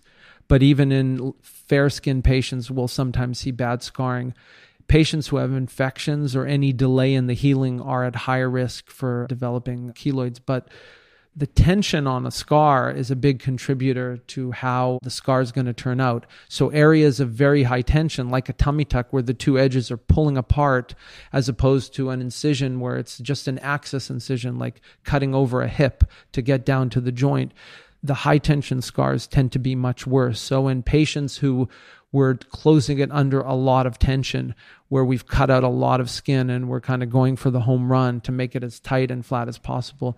We'll do things to minimize the tension, but that tension is a big risk for the poor scarring. The proof in this is that the area of highest tension is in the very center of the scar, and that usually is the area that scars poorly. Whereas as you go out towards the side of the scar, towards the hip bone, the scar becomes more faint and less noticeable because there's less tension there. So you you just sort of alluded to liposuction. So let's let's go there next this is one of those procedures where I'm guessing what percentage of them being done are not being done by board certified plastic surgeons. This is something where we probably see a large, large number. I mean, if I had to guess, probably talking about 80 to 90% of the procedures are being done by non plastic surgeons in an office based setting. There are anywhere from 20 to 30 devices out there that perform different types of liposuction. And a lot of this is done in an office based setting. And so doctors, non plastic surgeons are purchasing these devices and offering this to patients. And there are non invasive devices. A popular one is called CoolSculpting, which I don't do. I'm not a big believer in. You kind of wave a magic wand over the person, it freezes the fat. I mean, I always said, if freezing the fat works, why are the Eskimos so fat? Maybe they're not cold enough. yeah. And then you have devices that heat it up. So it's like, wait, it, do you want to freeze it or heat it up? I'm not a believer in a lot of these technologies. They have a lot of risks associated with them, a lot of risks of burns, contour irregularities most board certified plastic surgeons do what's called just traditional liposuction, where it's essentially the movement of a cannula that causes the fat to break down and then you just suck it out. You're not using additional laser or radio frequency or ultrasound forms of energy to remove the fat. What does it look like? I mean, I think we're talking about subcutaneous fat here. We're not talking about removing visceral fat or things that are below fascia. So everything is above this very thick connective tissue. But when you put a cannula, I guess maybe we should just explain some of these terms we're using. So a cannula is what? How, how would you explain that to somebody? The, the cannula is a hollow, long metal or plastic device that is inserted underneath the skin into the fat. And that's what breaks the fat down and sucks it out. Why is it that if you took a person who has lots of subcutaneous fat and you put a five millimeter incision in them and you stick a five millimeter cannula and you just hook it up to a vacuum, why doesn't it just uniformly suck out all the fat? The fat is actually connected pretty well to the overlying skin. There's connective tissue and different parts of the body. It's connected to various degrees. For example, the fat on the soles of the feet and the palms is extremely strong and tough fat. The fat in the buttocks where we sit is also very rigid and fat. It's difficult, be extremely hard to liposuction that. So just creating suction won't suck it out. It's stuck there. You have to actually break it apart. And it's the that's how it's whether it's done with a form of energy or just the mechanical energy generated by the movement of the cannula that breaks the fat apart who first did this procedure? I mean, how how long has this procedure been around? It's been around a long time, probably 50 years, and it was invented by a dermatologist. So it's difficult as a plastic surgeon to judge dermatologists who do liposuction because they actually invented it. So, you know, I think dermatologists who have adequate additional training, they're not usually doing this in their regular residency, could probably do some areas of liposuction. But but again, I think that you have to distinguish between specialties where you spent a lot of time in the operating room as opposed to specialties that didn't. You know, like we talked about, I was in the military. I spent a little bit of time in the ocean and diving, and so yeah, I can go in, but but that's not my area of expertise. Like uh, someone who's a Navy SEAL, where they're so comfortable in the ocean. I mean, the same thing is true in the operating room. You're either a surgeon or you're not a surgeon. If you're a surgeon, you've spent literally years of time in the operating room and your comfort level with dealing with everything is very different a surgeon once said to me, you know, a good surgeon knows how to take care of any complication they create. And the complications from liposuction are astounding. I mean, there are multiple cases of patients puncturing lungs and puncturing liver and intestine. Well, I mean, you'll have to explain to me how that happens outside of the most egregious malpractice. I mean, this is all happening outside of fascia. So how are, are the, is it that the patient is so big that the surgeon? I mean, I'm trying to be sensitive to the surgeon making the mistake as well, but to give someone a pneumothorax or to puncture their liver, you have to take that cannula and instead of moving outside of the plane where the fat is, you you have to turn the cannula inward, right? Right. So, you know, the most common area of liposuction is the abdomen. So, if someone is liposuctioning the upper abdomen, you obviously have to understand the anatomy. You have a rib cage there, so you have to stay above the ribs. But if you're not paying attention, you're not feeling and aware with what you're doing, it'd be pretty easy to slip underneath a rib. Well, if you go underneath the rib, the next thing you encounter there is the rectus muscle and then the diaphragm. And so these thin cannulas are actually riskier. A one to two millimeter cannula, it's easy to just push right through the abdominal wall and into the, what the next layer. Why not use a blunt cannula instead they of a are sharp? blunt. They are blunt, but it's still there have been multiple multiple cases of this happening. And does anyone ever do this with an like because if you're doing liposuction on someone who's subcutaneous fat but they're not incredibly big, presumably the risk of this is lower. Is this more? You would think so, but we still see it in thin patients. So ultrasound guidance wouldn't help when you're in those areas? It, it probably would. It's sort of impractical because then you have to introduce an ultrasound sterilely, and then you need either the person doing the liposuction knows how to use the ultrasound or they have to bring in someone else. So that is not typically done. I, I think it would increase the safety.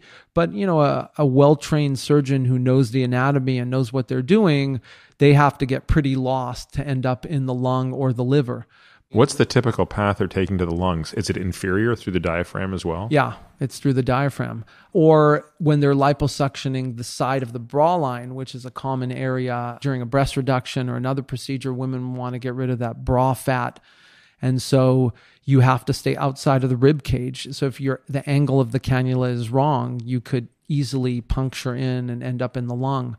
And liposuction is a dangerous procedure if not done properly. Uh, and we see incredible complications and death rates from it, electrolyte problems from fluid shifts. You know, there's tremendous fluid shifts that happen after liposuction, volume overload, pulmonary edema, fluid in the lungs, essentially.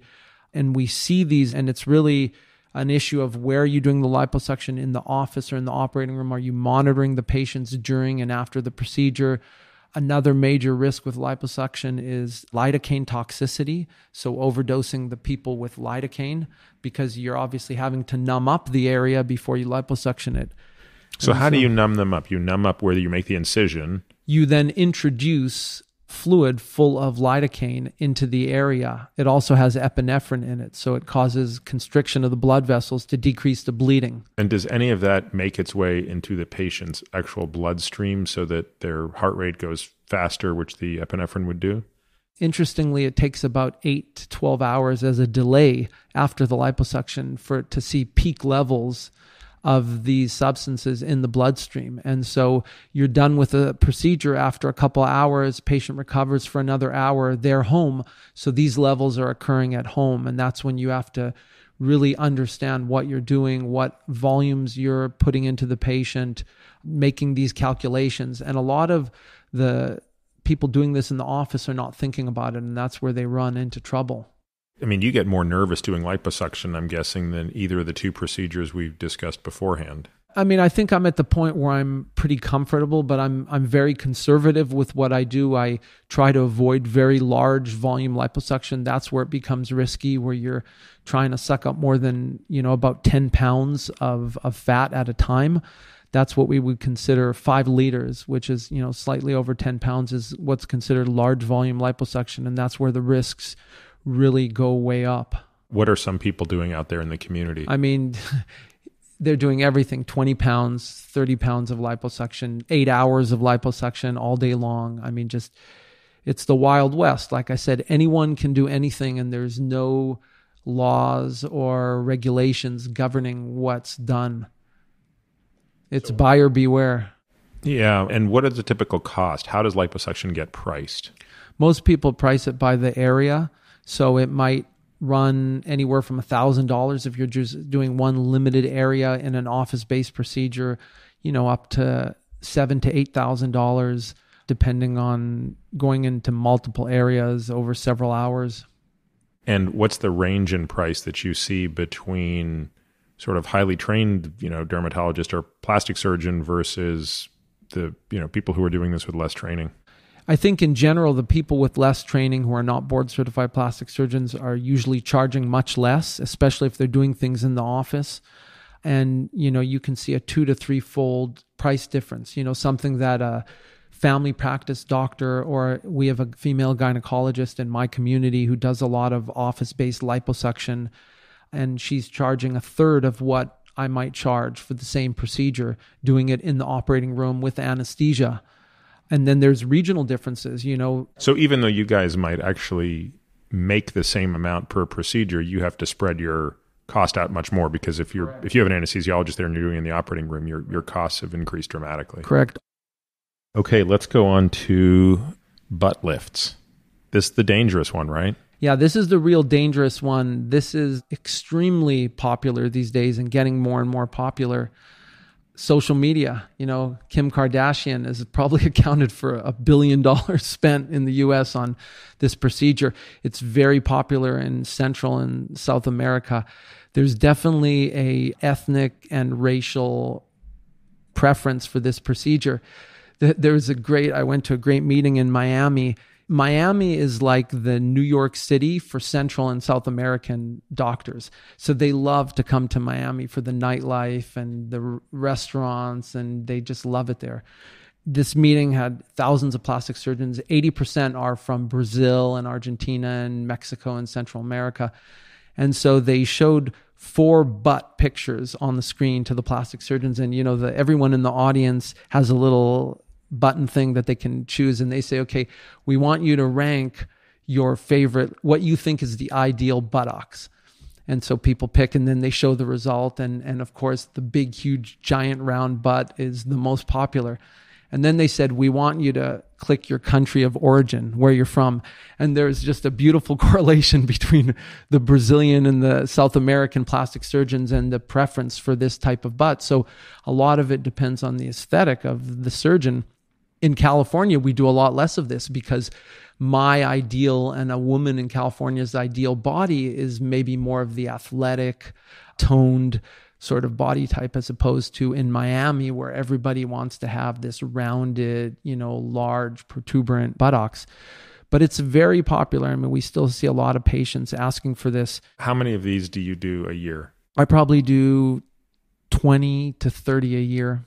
And and your peers in Miami would do how many? They might do four to five a day. This is like there's some I know one guy where he's literally doing 7 to 8 a day of these procedures like it's like a factory. Um, this is one of the most dangerous procedures in all of plastic surgery, and we actually have had meetings in our societies and and and almost to the point where they want to put a moratorium and just stop doing these procedures. The issue is what what the Brazilian butt lift is is it's injecting fat into the butt to enlarge it. That fat is liposuction from one part of the body and then injected into the butt. So there's no mechanical lift that's going on. The lift is accompanied no, just the, by, by I, I, didn't I didn't filling even it up. Yeah, oh, it's oh, just filling. That. It's like inflating a balloon. All this time. Yeah, I've it's been... just filling it up with fat as much as you can get in there. The issue is inadvertently injecting fat into the veins in the butt, and then they the fat gets transported to the lungs and causes a fat embolus, which has a high risk of fatality. And so there have been multiple deaths most of them in Florida, but multiple deaths in in South America. Even in California, we've had deaths from this procedure. When they autopsy these patients, they uniformly find their lungs full of fat that was basically transported from the veins in the butt where the fat was accidentally injected. And so there's a lot of recommendations about how to avoid this and you know using smaller volumes, injecting it more superficially but it's still very popular. I mean, despite the risks, women still want this. What are the stated risks of a fat embolus from this procedure? In other words, if you walk into a responsible doctor's office or someone walks into your office and says, What's my risk of this? What percent would you quote? It, it would probably be one in a thousand would be the risk, maybe, maybe even higher. And I guess this is a great example of a fatal fat embolism. There's probably cases where it's happening and it's not fatal, like a, like a regular pulmonary embolism, and we don't catch it. You know, it's interesting. This is a great discussion about the asymmetry of risk, because so you might listen to this and think, well, one in a thousand is not that bad. But I was telling you earlier today. I mean, I had to keep my phone on during this interview because I have a patient who I sent into the emergency room to rule out a pulmonary embolism, and you know, we're talking about this this morning, and you know, the patient was saying, well, you know, I've got this pain in my calf and I've been flying a lot. And, you, know, was sort of thinking, I, I wonder if I do feel a little short of breath. You know, it's hard to say. So, look, listening to the patient's story, I think the probability that they have a pulmonary embolism is actually quite low, but it's not zero. And it, I said, just to make the math easy, let's assume there's a 1% chance you have a pulmonary embolism or a 0.1% chance you have pulmonary embolism you have to consider the cost of doing something versus the cost of doing nothing, and then the cost of being wrong in both of those situations. So, the cost of being wrong if you don't go in to the ER, you just stay where you are, you don't go anywhere, meaning wrong, meaning you have a pulmonary embolism, but you don't do anything about it. That cost is infinitely greater, though far less likely, than the cost of you going into the ER not having a pulmonary embolism so there's a cost to that. Cost you time, costs money. It's a pain in the ass.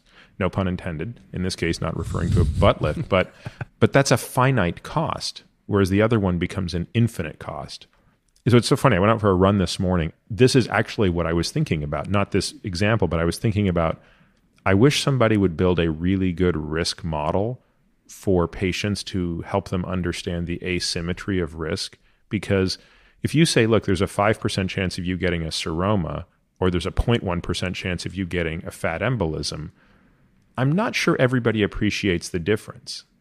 The 5% seroma has a much lower consequence to it. So that that might be a tool to help patients understand this because the other thing with a with a fat embolism not only is it devastating but you don't get much of a warning necessarily right. from when the complication is and it's almost place. impossible to treat when it happens. Yeah, yeah, that's another great example. So so you mentioned a guy who's doing 6 of these a day, 7 of these a day. I mean, presumably he's not getting many complications, right? Or he wouldn't be able to do that, right? No, he is. I mean, it's shocking to me how tolerant people are of complications. I mean, when you look, there is a recent expose done by USA Today about these Miami plastic surgery clinics where they've had tremendous number of deaths and complications and people just keep going back because they are so price conscious i mean these places will do it for cheaper than anywhere else will and they so you they get fries care. and a drink with the procedure yeah. and it's it's like a happy meal yeah and they patients don't care and and people have this idea that if you're a doctor you're you're safe and you're going to you know what you're doing and you're going to do the right thing if there's a clinic and it looks semi clean that they don't need to worry and the problem is the laws are not out there to 100% protect the patients they're actually in the process now of amending a lot of the laws in Florida, which has just been way too liberal in terms of what they allow to happen.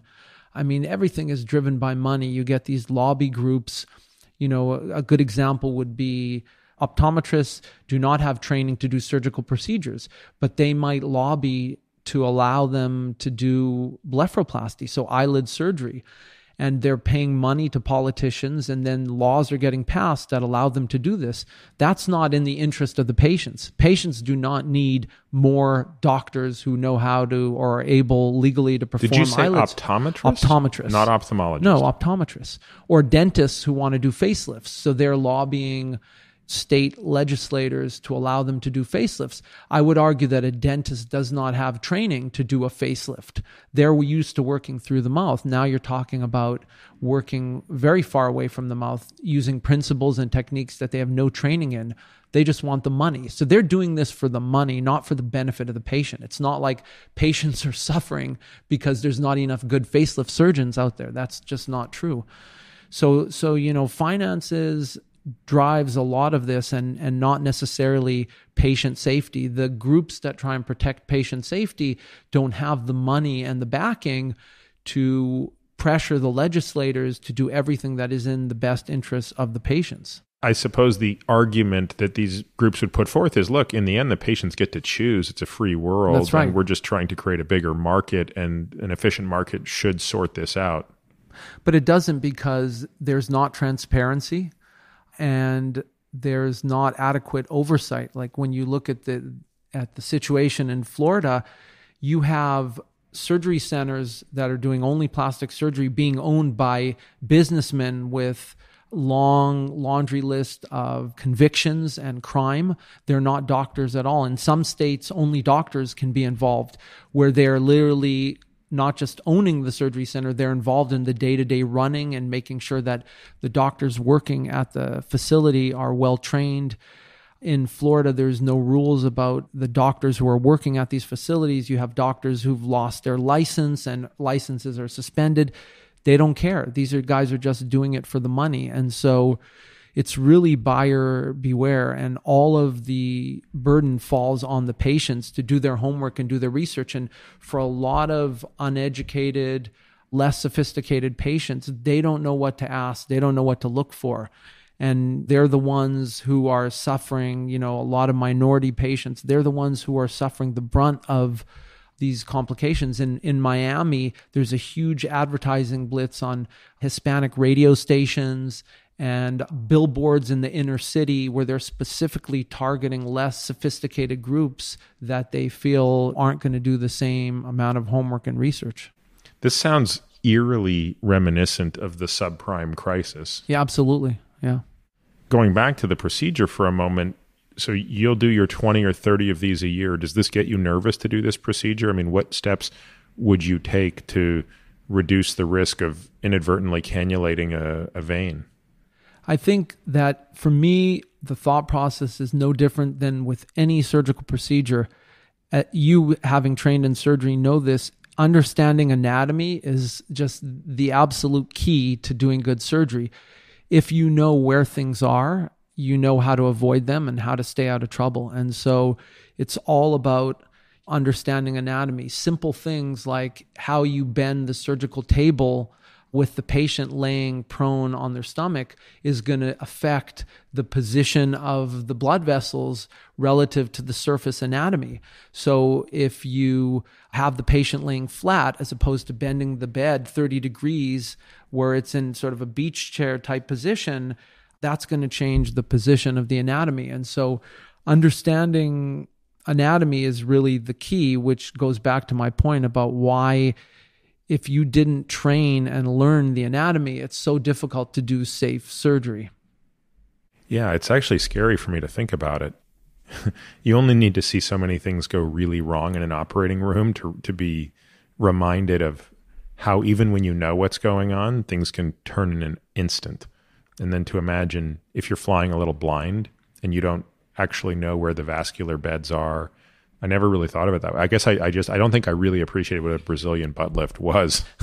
you know, I mean, my field is very challenging and different than other other areas. You know, when you get on an airplane, for example, you don't think twice about. You assume that that plane has been checked over. You assume that it's received all the maintenance. You assume that the pilots are competent, that they aren't drunk, that they slept enough you assume that the runway's been checked, there's no debris on it. You make all these assumptions and you fly and you feel safe. And and most of these assumptions are true.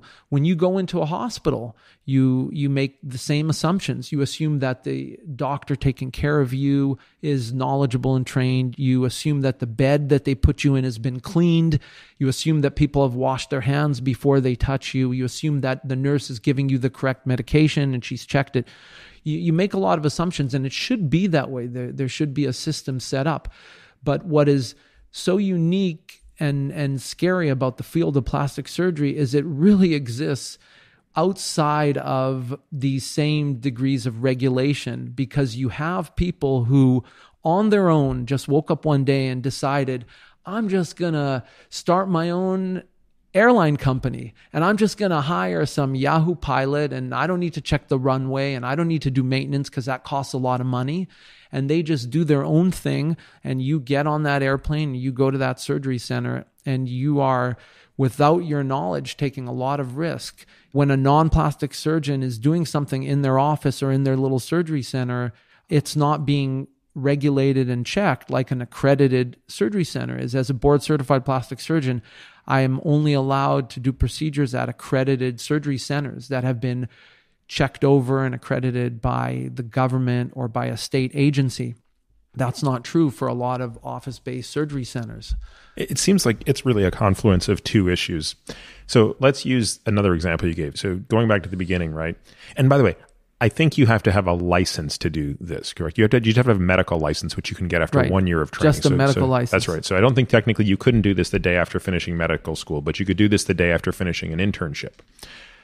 So why is this problem not occurring in cardiac surgery, or why is this problem not occurring in orthopedic surgery, at least with respect to joint replacements? My guess is twofold. One, nobody wakes up and says, I really want to have a coronary artery bypass today. You know, today is the day I, you know what? I'm not happy with my aortic valve. Right. I got to get this thing switched out. In other words, patient demand isn't really driving cardiac surgery. It's being really driven by the pathology. The cardiologist is sending you to the cardiac surgeon and you're sort of going because you trust the cardiologist, et cetera. Similarly, yes, of course, a patient who has sort of an issue with their knee and it's chronically hurting will ultimately wind up seeing an orthopedic surgeon, but they're usually going through several levels. They'll see their primary care doctor, their doctor sends them to an orthopedic surgeon. The orthopedic surgeon goes through a whole bunch of checks and balances. it's very rare that someone wakes up says, "You know what? I've had it with this knee bugging me. I need a knee replacement. Let me just Google knee replacement and anyone can show up." That's the first thing. So the demand is not really coming straight from patient to ultimate practitioner. Right. The second thing is the complexity of the case. At the end of the day, you want to do a coronary artery bypass graft, you want to do a hip replacement, that's really complicated. You are not going to, in a million years, figure out how to do that without going through the formal training. Whereas in the end, liposuction, relatively simple procedure. And as you pointed out, the simpler the procedure, the more likely. My guess is there aren't too many non-plastic surgeons doing, you know, deep flaps. Right, or even a breast reduction only done by plastic surgeons. It's a complicated procedure. Right. And then the third piece is is this hospital piece. It there's a huge divide between what happens in a hospital and what doesn't. The moment you walk into a, an accredited hospital, the bar is just raised dramatically and it would require outright fraud for a charlatan to be in there doing that, which of course I'm sure happens from time to time, but that's that's an abject failure of the system. So it's really these three things together, which is what procedures can be done completely outside of the purview of a hospital, what procedure can be done that's relatively simple to learn, at least to be able to fake it, and what procedures are being driven by enormous patient demand where the patient directly comes to the practitioner. I mean, to me, it's those three things that have created this trifecta of disaster. And another way to put it is that in a lot of patients' minds, plastic surgery is not in the same category as other types of surgery. It's more like getting a haircut or getting your teeth bleached or getting your nails done. It's cosmetic procedures. Oh, I'm just going to go in for a little afternoon liposuction. And so people don't think about it in the same way as they think of other surgical procedures and then the money is such a big part of it because there's so much money in this right. field. When you get your knee replaced, your insurance is hopefully right. paying the right. majority. This is all patients are paying out of pocket for it, and other doctors who are primarily insurance based doctors, which is most physicians in America, see this lucrative cash paying procedures and they want a piece of it. I mean, they want to augment their income with it it's just so funny. I always think about how different it is to be a plastic surgeon. I'm probably the only specialty where when people go to the emergency room, I do emergency call at a local busy hospital where they ask for a plastic surgeon. you know, little Sally's has a cut on her cheek and the mom's like, "I want a plastic surgeon. I demand a plastic surgeon." Nobody's asking for a cardiologist when they need have chest pain and or an EKG. I think we're in a different category than all the other doctors where patients think that, you know, for whatever reason, we're just much more readily available and we're sort of technicians that they can just summon at a whim. Do you find yourself ever feeling conflicted where, on the one hand, you're in a profession which sort of feeds off the vanity and insecurity of people, both of which you don't seem to necessarily display yourself. And on the one hand, you sort of have this obligation like, look, if a person is committed to doing procedure X, Y, or Z, I, Zol Kryger, might not actually even understand the rationale for this. I, I think this person looks perfectly wonderful. I don't think they need to do anything. But one, there's an economic incentive. I mean, at the end of the day, this is how you make a living. Two, I think knowing you, I can say you also feel like, well, if this person's going to have this procedure done and it's a Brazilian butt lift that I think is probably ridiculous, I would certainly rather they do it with me and I have a much higher probability of getting them home safely than they go to somebody else. So, how do you process all of those sort of emotions and thoughts? I think about it simplistically that I'm like many other doctors, I'm just helping people. People come to me with a problem just like they come to any doctor with a problem. Psychiatrists see people with psychiatric problems and the rest of the physicians see people with physical problems and I I'm it's a combination of both. I'm like a psychiatrist with a knife basically. I fix a lot of psychiatric problems with a knife. Now that might sound But do you think you're fixing them? Or do I do. I, sometimes I do, and and that's and a key part of of being a good plastic surgeon is understanding: Am I going to fix this problem with the knife, or is this a problem that requires some other type of treatment. I'll give you a good example. Take a girl who's 18 years old. She just finished high school. She's about to go off to college. She's a beautiful girl, but she has a huge giant nose. She was born with a big giant nose. She inherited it from her Middle Eastern father, and it looks horrible on her face. She's completely self conscious about this nose. If you did a photo manipulation with a computer program and showed her a picture of her face with an altered post surgical nose, she's crying she loves it you showed those two pictures to any person in anywhere in the world they would say the one girl looks hideous and the other girl looks attractive it's the same girl before and after surgery if you do surgery for that girl you change her life you help her in a profound way she's not excessively vain. She's not psychologically ill. She doesn't have mental problems. She looks in the mirror and sees a nose that is way out of proportion to her face. She's bothered by it. She's been teased about it before. She compares herself to other people. Now, yeah, you could make an argument that we should live in a society where we don't care about the size of people's noses and we don't care about the way people look. But until that happens, which I doubt is happening anytime soon, people attach importance and value to the way they look so yeah, I think operating on that girl, I'm doing her a huge service. I'm helping her. I'm I'm essentially a psychiatrist with a knife. She doesn't need that surgery. She's not doing it because she has cancer. She's not doing it because she's not able to exercise or function because she can't breathe through the nose. She's doing it for the appearance. But we all know that girl. We've all met someone like that. We might even be that person. And so making that change is is profound. I mean, if you have a woman who's happily married, she's normal, she has children, she functions regularly in life, and she believes, whether rightly or so, that her husband does not find her attractive because her body has changed after having children and she has a big roll of skin hanging over her C section scar and she wants it gone. It gets in the way of her exercise. It affects her during her periods of intimacy with her husband. She's super self conscious about it. You're going to change that person's life doing that. So there's nothing wrong with that. Most of my patients are normal. I don't take care of porn stars. I don't take care of people who have body dysmorphic disorder where they say I can't go outside because of this part of my body. I try to avoid celebrities. They're a huge pain in the butt. I just take care of regular people. I do functional surgery and I do aesthetic surgery.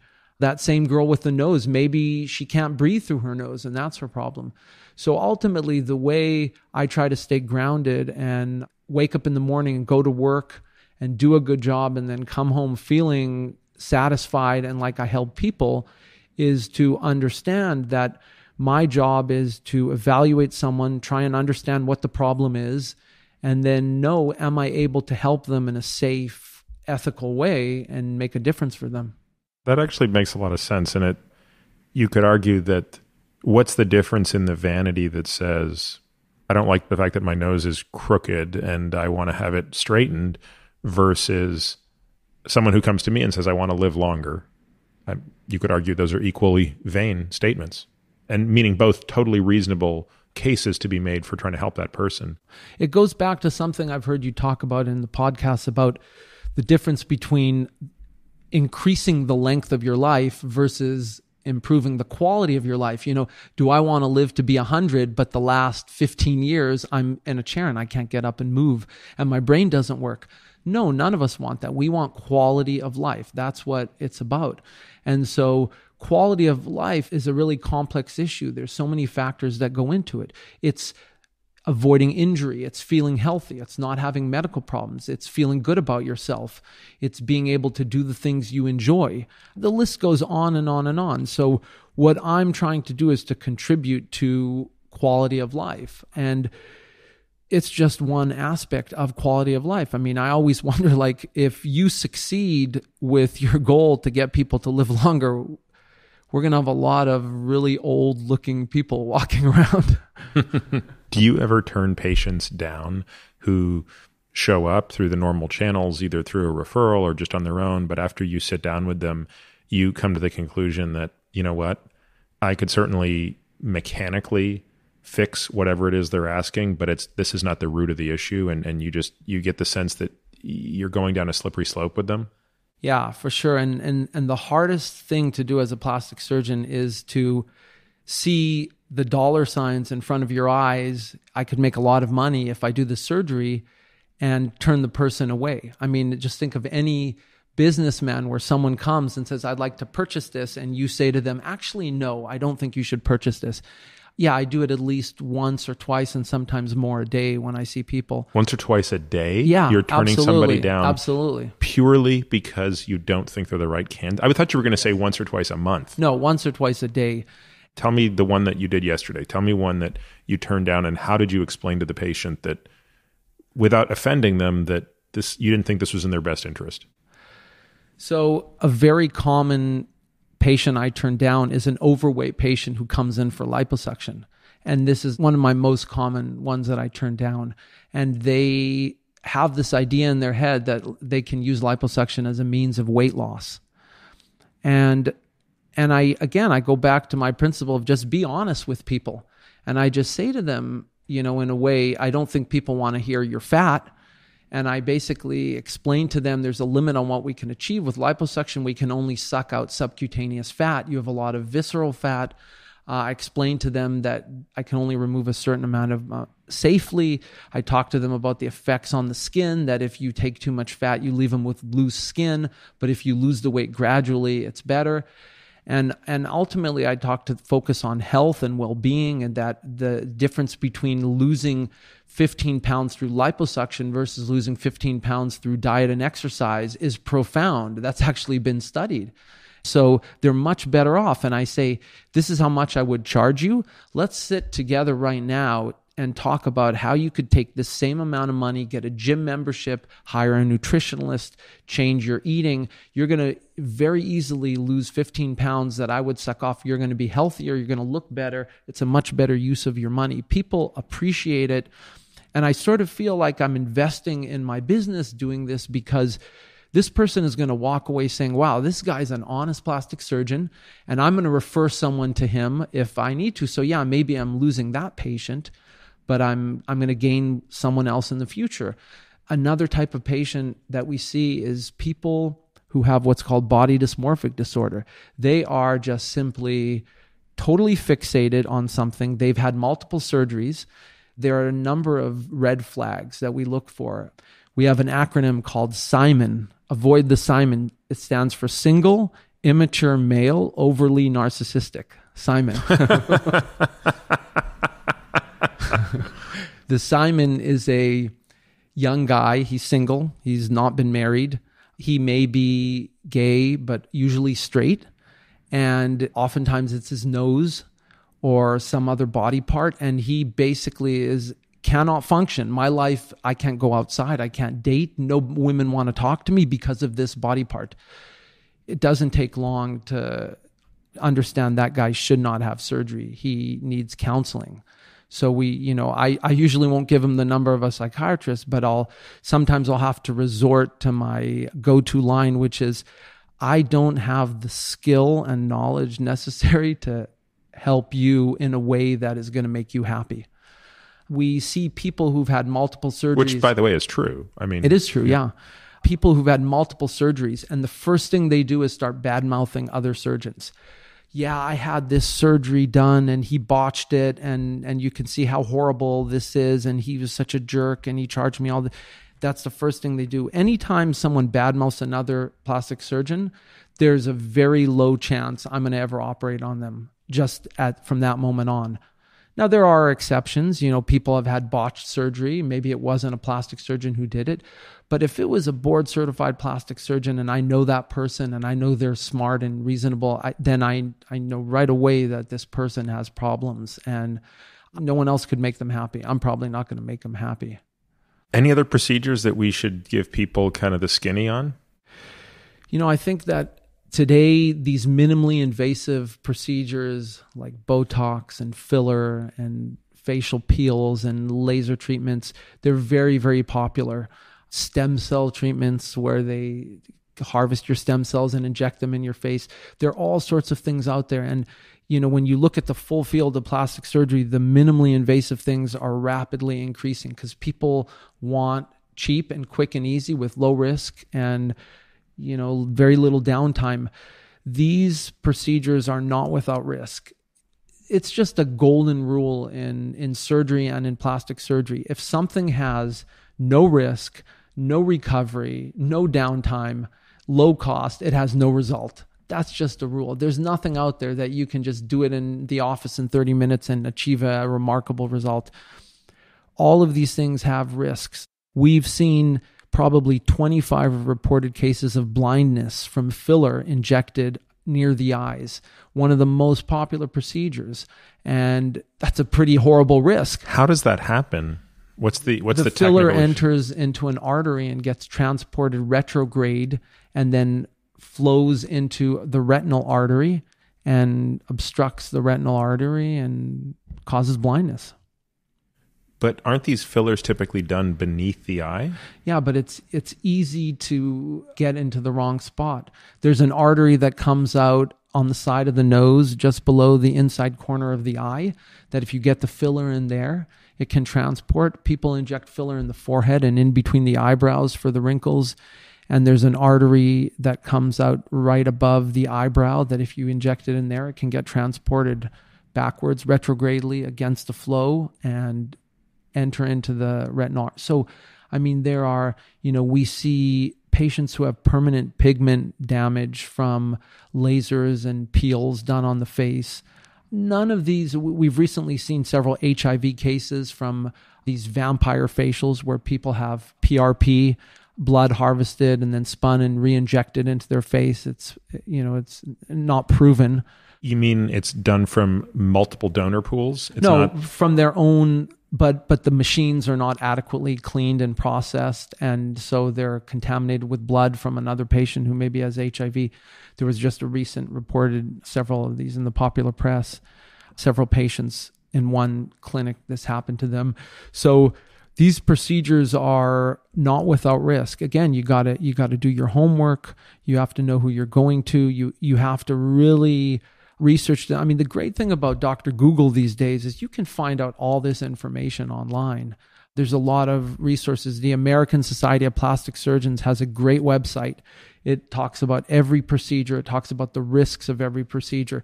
But just to be knowledgeable going in, I mean, knowledge is power in these things. And to understand that there's just no free lunch, you can't just undergo one of these lunchtime procedures without risk.